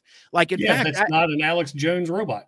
Yeah, exactly. and, and, and I and I got some feedback from that even as you know, like today. It's like I I had a um uh one of my longtime buddies, uh Anthony Brucali, uh TFU.info, hit me up. He's like, I'm really enjoying the the Patriot Prime interview, and it's really cool to get a perspective from somebody in the fandom that I've had no interaction with. Um, because you know, folks that have you know long-standing ties, you know, we we we tend to get a little clicky sometimes. Yeah. So it's so it's kind of cool to expand our circle. And even like the Venn diagram between like the folks that you hang out with and I hang out with, there there's a little bit of overlap, but but there's there there isn't a whole lot of crossover, which is which is why I really dig this dynamic with us. This, this is really cool. Well, that's part of the reason I started to sit rep a long time ago is I wanted to get to know other people and I always always reached out to smaller YouTubers you know, I, I was yeah. fortunate enough that mine, you know, had a big growth spurt there all of a sudden. I mean, it's it's sputtering now. I think me and the algorithm are not liking each other, but uh, I thought it was really cool to interview others to kind of see where they're coming from, give them pointers, and you know all that cool stuff, and it just blossomed into what it is now. Yeah, absolutely. friendship they say is magic. Exactly, and bonded by plastic. I love it. Uh, what's the one thing that you find hardest about being a podcaster? Oh God! I mean, th- this is this is probably the easiest question that you'll ask me that isn't the sound wave related one. Time management. Hmm. Time management. Time is always the enemy. Um, I I spin a lot of plates, and it uh and it and it gets tricky. It's like one you have to um be up on a schedule and find find consistent time to do content and i think i think that's why honestly my outlet hasn't gained the traction that maybe somebody that's been doing this as long as I have should have. Because I, I, have what like 69 subscribers on YouTube. I mean, I, I've been I, have been doing I, I've been doing videos for maybe a year, maybe two. I don't think I put anything on YouTube before COVID. Um, so it so it's still me very much trying to t- trying to find my way and figure out how I want to do that. And even if you go to my channel, it, it's it's a weird variety. It's like okay, he's doing a review here, he's doing a live stream. Seventy four now. Hey, well, well, thank you to the Patriot Prime fan base. Welcome. Uh, expect more of this. uh, but no, it, it's it, time management has always been a challenge for me. I'm I'm naturally kind of a knucklehead, and I don't. I I mean, I'm really good about dealing with what's directly in front of me, not always what's what's on the horizon. I'm I'm uh kind of kind of the opposite of Luke Skywalker when he meets Yoda on Dagobah. He's like, you know, it's like oh, always to the future, always on the horizon, but never was he focused on where he was, what he was doing. So I I'm I'm the opposite of that. It's like this is what's in front of me now here today. I have no idea what I'm doing tomorrow. but yeah time management and and everything takes time whether it's um uh conducting interviews, editing, posting, social media, it all takes time. And uh, so if, if I were to give any advice to folks, it'd be just like manage your time and and and don't forget yourself also it's like you know it's one thing to like throw your body at a problem but you really also got to be cognizant of like family life family time because that stuff is important. This stuff is important also, you know, cultivating an obvious an audience, obviously that's very important, but not at the risk of your family. So, you know, perspective hey, is always important. I, I glazed over with you too on your show that I run into is the time management. When I got friends like Cato and Bert and Rodimus and yeah. Deluxe Baldwin, those guys are cranking out videos like that. Yeah. They also work at home. Mm-hmm. I, I got a full time job and I do you know that old eight eight to five, and then I got the kid in basketball practice and the family, and I just can't crank out the reviews like them. And I'm like, man, and I was it used to bug me, but I'm like, you know what? I'll get them done when I get them done. I have stuff I have to do, and my viewers understand that. Of course, I had who was it? My this guy right here decided to do a whole tour of the United States when I ordered him from Amazon. this figure shipped January 16th from Pennsylvania, Pennsylvania to West Virginia. But instead of going that route, it went Pennsylvania to Arizona, from Arizona to Indiana, Indiana to Illinois, just mm-hmm. all over the place. He finally showed up yesterday. That's so funny. I, I love that you showed that. I mean, the the map that you put up on social media, it reminded me of like Indiana Jones. It's like da da da da da da. da. Here's another guy that has a good podcast, Lazy Jedi, the mediocre show. Ah, I'll have to check it out. Definitely, yeah, that will be fun. That that'd be a unique group of individuals there. That's we, awesome. We've had a good time on his show before. We all were going to do one a few weeks ago, and it's just the one night we finally had planned out. Just all of a sudden, everybody had to do something else. Like yeah. like you said, family life kicked in, and it, it's just hard to get everybody organized together. Yeah, especially with a with a large crew. You know, it's like that that uh that Earthspark show I did that you mentioned earlier. There there was a half dozen of us. There was like six people on that show, and it took like a like an act of Congress and like all of the planets lining up and all of the stars aligning for us to all be available at the same time. But man, that's man, why do mine late at ten o'clock. Pretty much everybody's yep. home at ten o'clock. Well, yep. seven on your your your end. Yeah, even so. But yeah, yeah, I, I I, I love the late night after hours streams like this. It, it's a oh, fun mine, mine, gets weird sometimes. Like I told you, we, we ended up having a four hour one one night. We ended up at two o'clock or something. Whew. All right, well, let's wrap up our final question. Then we'll get into audience interaction and toy sure. hacks giveaways. Hell Last yeah. one, first and or it's not really a quite. Yeah, it's a question. Do you have any channel goals, podcast goals for yourself, and where can my viewers find you? This is your time to plug yourself. Oh well, thank you so much for the That's opportunity. you earlier. I, I, I I greatly appreciate the opportunity. This has been a blast, um, and and I really appreciate the opportunity uh, to get me out in front of your audience and um, uh, really cool folks that I that I'm definitely uh, looking to uh, connect with uh, um, more. So uh, so I guess goals. You know, my my goals have shifted. Um, originally if you'd if you'd asked me even a few years ago it would have been like you know to to get more subscribers or to get more views or to connect with more folks my goals now are a little less definable. You know it's like you, you can see the the gray snow in my beard. I i'm you know i i'm getting to a point in life where um i'm i'm just as content to do content and the folks that like it like it and the folks that like it find it and and share it and things like that. So so really my my goal is to continue to improve my presentation and to continue to do the best damn show that I can. So it, it's not necessarily, I can't measure it in subscribers or viewers or clicks or followers or whatever, but my goal is to put on the best damn show for the best damn audience on the internet. Um, so so those are those are my goals, and if you would like to uh, uh, join me on that adventure. Uh, my podcast is Mike Seibert Radio Podcast, and you can search it by one just clicking the convenient link in the chat. Um, if you go to my YouTube channel, that that I believe has links for uh, for my social medias and and podcasts.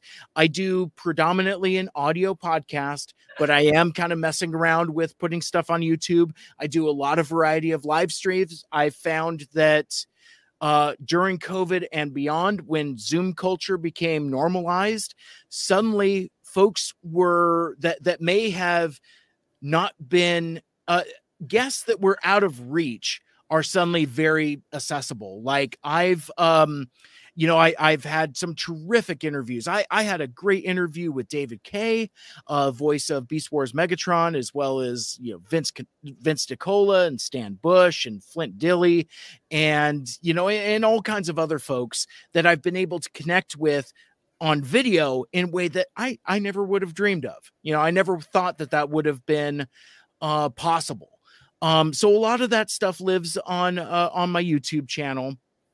Um, so yeah, you can find videos there. And I've also recently I, have connected with a um, headliner, like uh, this uh, uh, headliner.com thing. You put in your podcast RSS feed and it transcribes or ports over the audio converts it into a video so it's so it's one more place to find so if you see videos that have no picture and it just has like a, a sound wave it, it's it's ones that uh, headliner has uh, uh, converted uh, into video because YouTube is still a very powerful search engine. Like it's still like the like number one number two place to find music.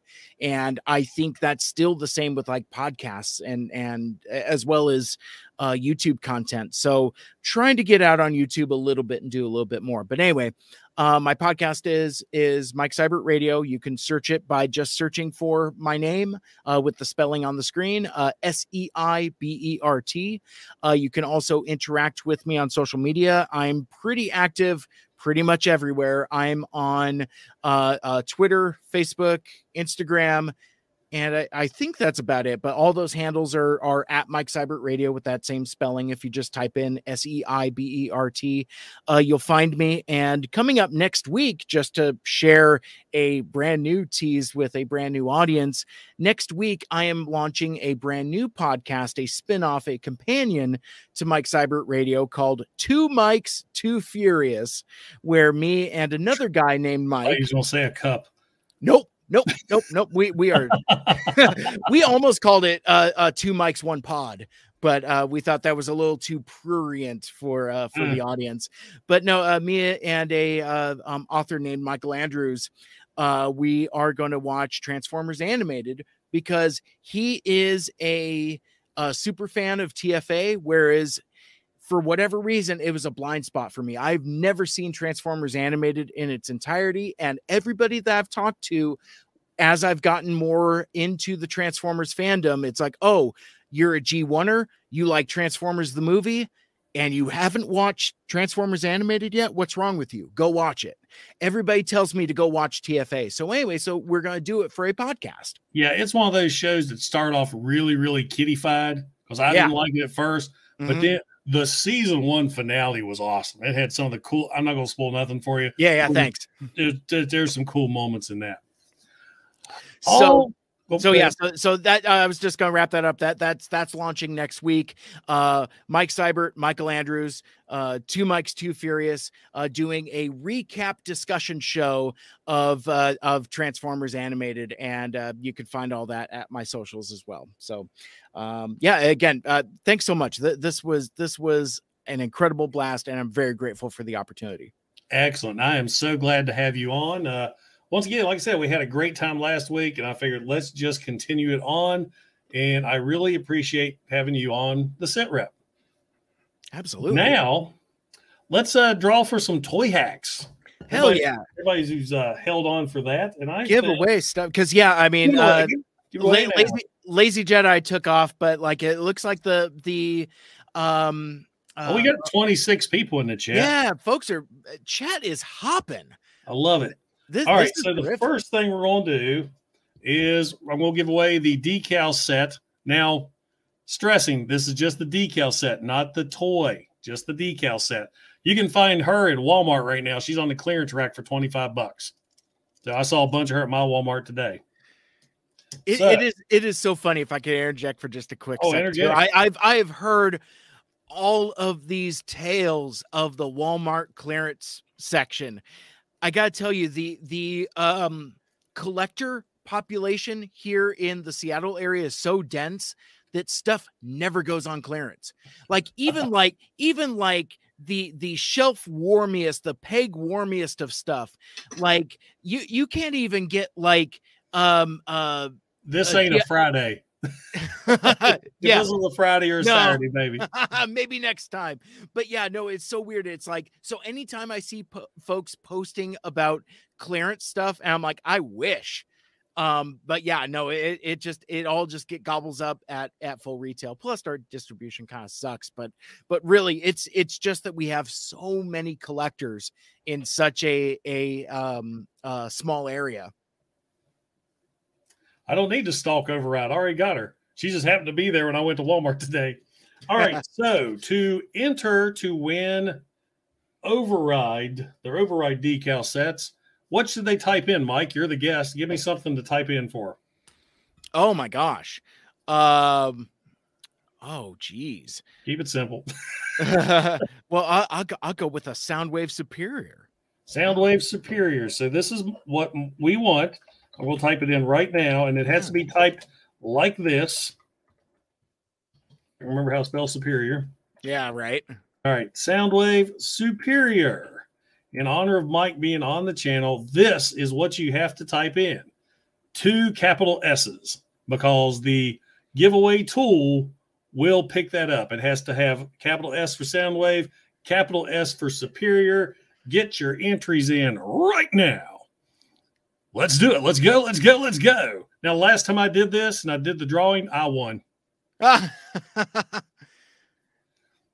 this is so cool. Oh, just wait. There's a very interactive thing I do this with. Yeah, th- this is fun. I, I try to do this. I haven't got any doubles in a while, so I forgot I ordered these. They just came in today. What's cool about, well, I'll go into Skullgrin later. He's got extra little Easter eggs with his decal set. Slow DK, take that hashtag out. There's no hashtag in it, just Soundwave Superior. It won't pick you up. That's a no go. A no go. There you go. That's that's a that's a yes go. That is a yes go. Give a let's see another. We'll get another another minute to get those entries in. Sure. And see, I just got these decals in yesterday. I haven't even had a chance to apply them yet. It's a nice set. Oh, see, I, I love it. Uh, Lazy Jedi pieced out, but then has miraculously returned to uh, participate in the giveaway. I think he was piecing out because he's not a big Transformers animated fan. oh, gotcha. I think gotcha. that he was like, I'm out. Yeah. It's gonna be fun to talk about, regardless. I mean, Oh, it's yeah. like, yeah. So we we've recorded our first episode, and so you know we watched the the pilot, and it's uh it's interesting, but if I um, remember, the pilot made me so mad because didn't the pilot show G1 animation at first? yeah, And I remember Yeah. watching that when it first came out, and then those characters showed up. I'm like, this art style sucks. I mean, I, I hate modern art. sure. The the voice cast is terrific though. Oh, I love Corey Burton as Megatron. So good. And and David Kaye still the only actor who has portrayed both Megatron and Optimus Prime.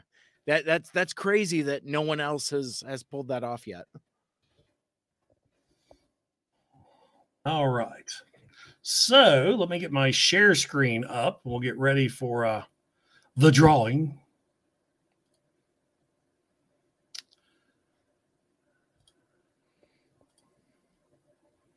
Let's see. Oh, they've changed it up a little bit. There we are. Ah, So, got you and me at the bottom. This is the giveaway tool. yeah. You'll see the sit rep right there. I have Soundwave Superior typed in. And you can run this through StreamYard? Yeah, it's as you see, it's a StreamYard giveaway tool. Holy smokes. So you can I, I'm learning. Yes. yes, David K. All right, so let's go ahead and do this. Let's collect the comments. Here we go. Soundwave Superior. There's 10 entries. Cool. 10 entries for this. And I'm going to make this full screen now. Yeah. So let's draw in three, two, one.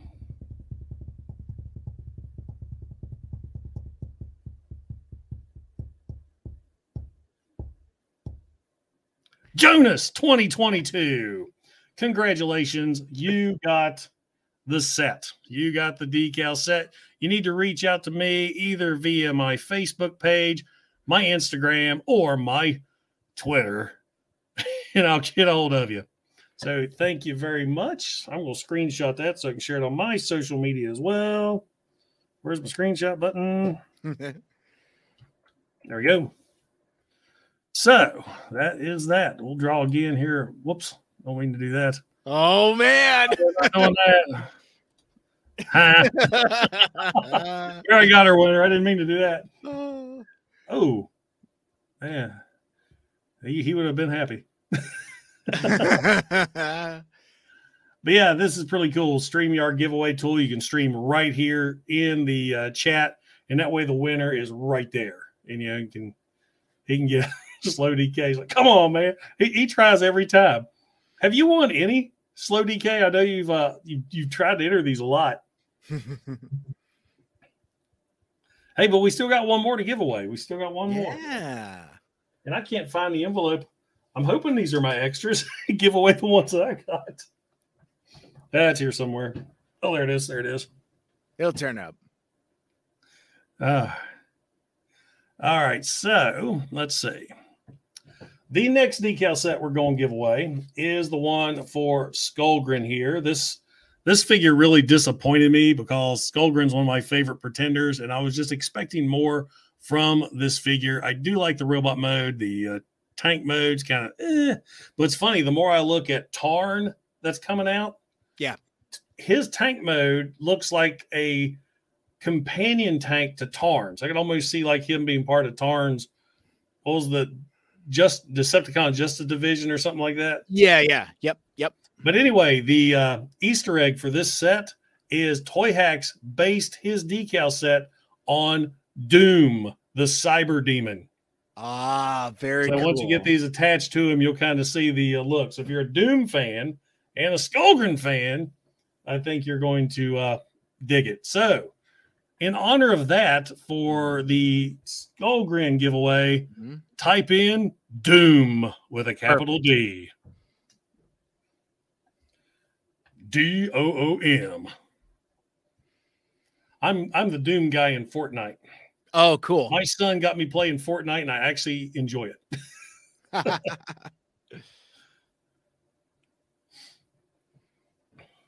Mindwipe 87 still waiting on Submarauder from uh from Hasbro. Yeah.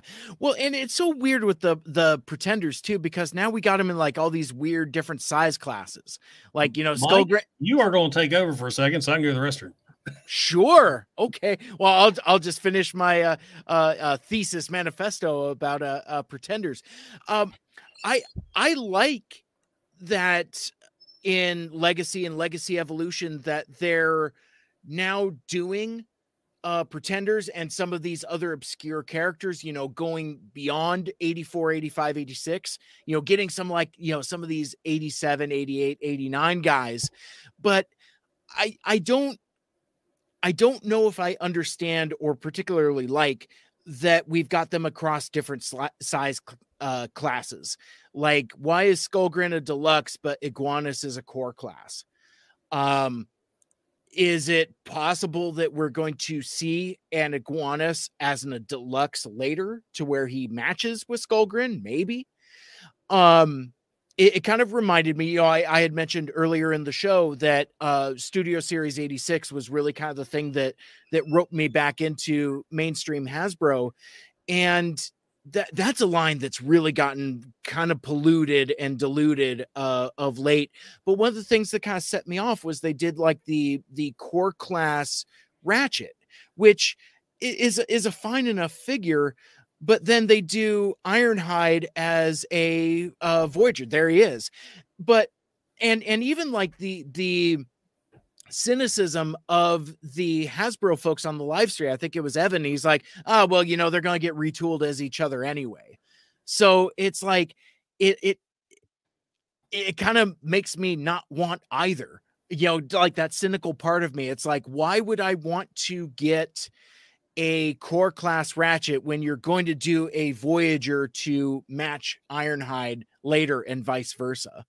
Um, that's that to to catch you up, uh, Patriot Prime. That that was kind of uh, my extension of like why Iguanus is in core class to why Skullgrin is in deluxe and just kind of doing this whole little uh uh little clinic on uh size class and, and, and, and if you watch my video I like the core class pretenders better than I did the deluxe. They yes. just to pull it off so much better. Iguanus is a fun figure. He's that that little little motorcycle mode he's he's great. And and I would submit that he's a funner figure than Skullgrin mm-hmm. But you know what's going to make Skullgrin a lot funner is uh, getting all all decoed out with that with that Doom themed uh, Toyhax sticker set. Exactly. I'm hoping to get him reviewed this weekend. Yeah. Or applied and reviewed. Toyhax videos take a while. you guys see 10 minutes of it where it takes me all day. Yeah. All right. So let's get ready to do this. Doom is the word. And we have 10 entries once again. All right, so let's blow this up full screen. And here we go, drawing for the Skullgrin Toyhax decal set in three, two, one. Oh, oh, oh, oh, oh, it's going so much slower this time. Oh. Horndow. who? Who? Horndow. That's who? oh, that's lame. That's a dad joke. Uh, it's almost a hooah, almost. Hooah. Got that printed too, so we can share that. So, congratulations, Horned Owl. The same rules apply. Get a hold of me via Facebook, Instagram, or Twitter, and I will get these decals out to you ASAP. Who? Who? and that's it. That uh, we've had a great interview show. We've had a Toyhax decal giveaway. We've had some fun interaction with the members in the chat. Somebody stuffed a dollar in my G string. So yeah, yeah. Been, been a pretty good night. I can almost buy a drink now. What are they like seventy five now? Wow. I, I got moved to West Virginia because uh Buck isn't going to get me very far here in Seattle, unfortunately. I think our machine in my office is the cheapest you can get a 20 ounce pop right now. It's a mm-hmm. buck 50 for a 20 ounce pop. Wow. Yeah. It's uh we're we're buck 99 here on the cheap end. Uh usually 250. In fact, I bet you if I go upstairs Thanks, I try. Appreciate that. Uh but yeah, no, I'm I'm looking at like 250 for for uh for a for an average soda. Wow. Crazy. All right. Well, that pretty much wraps everything up. Once again, I want to give a huge shout out and thank you to Mike for uh, joining me tonight once again for another night of fun and festivities and talking about Transformers. We an hour, almost an hour and a half here, and yeah. two hours on his channel. So we had a lot of talk. We never got bored. We never overlapped. It was the same thing. So yeah. Yeah, make really. sure and check his channel out. Make sure and check his podcast out. He actually did a pretty good interview show with me, and we delved into some of the history of what I dealt with being a, when I first started YouTube that a lot of you guys don't know about. Yeah. Some of you do, but I I had some challenges when I first started. I really went into with this one. So, Mike, any final words? Uh, no, other other than to just uh, again thank you and to thank the audience and uh yes, soda. it's like sorry, soda pop. yeah. it's so funny. It's like you know we we could do like a whole nother show about the the geographical food stuffs, and it's like biscuits I, and gravy and soda pop. Yeah, there it is. Perfect. Oh, sweet tea but uh, yeah, but but no, again, I mean, huge huge thank you to you and to your audience. This was uh an absolute blast. Um, again, you can find me at uh, at Mike Seibert Radio. Uh, the spelling on the name is S E I B E R T. And uh, if you find me on any of the social platforms, let you know, tell me that you, you found me from here so that I can go back to my dude Patriot Prime and say, they're coming, they're coming for me. So um, I, I'm grateful for uh, new members of the audience and and I really hope you enjoy uh, the stuff that uh, that you find out. And again until until next time tell all or one make good choices. Exactly. And because it didn't happen tonight mm. I have to let Mike see this. You know what's coming. Oh dear Jesus.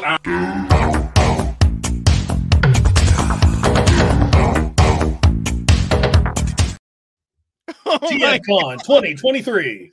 Hooah! And with that, that will wrap up this episode of Mike Seibert Radio. Thank you so much for being my friend and for hanging out and for listening. And if you want more Mike Seibert madness, don't miss Two Mikes Too Furious animated Transformers, where me and Michael Andrews watch and discuss Transformers animated one episode at a time. We just dropped our episode on the season finale for season one, so it's a great time to get caught up. Uh, you can listen to Two Mikes Too Furious everywhere you listen to Mike Seibert Radio. And be sure and like, share, rate, and review the show. Let me know what you like and what you'd like to hear more of in the future. For my guest, Jason Morgan, Patriot Prime himself, my name is Mike. This has been Mike Seibert Radio. We will see you at TFCon. And until next time, never hike alone and make good choices.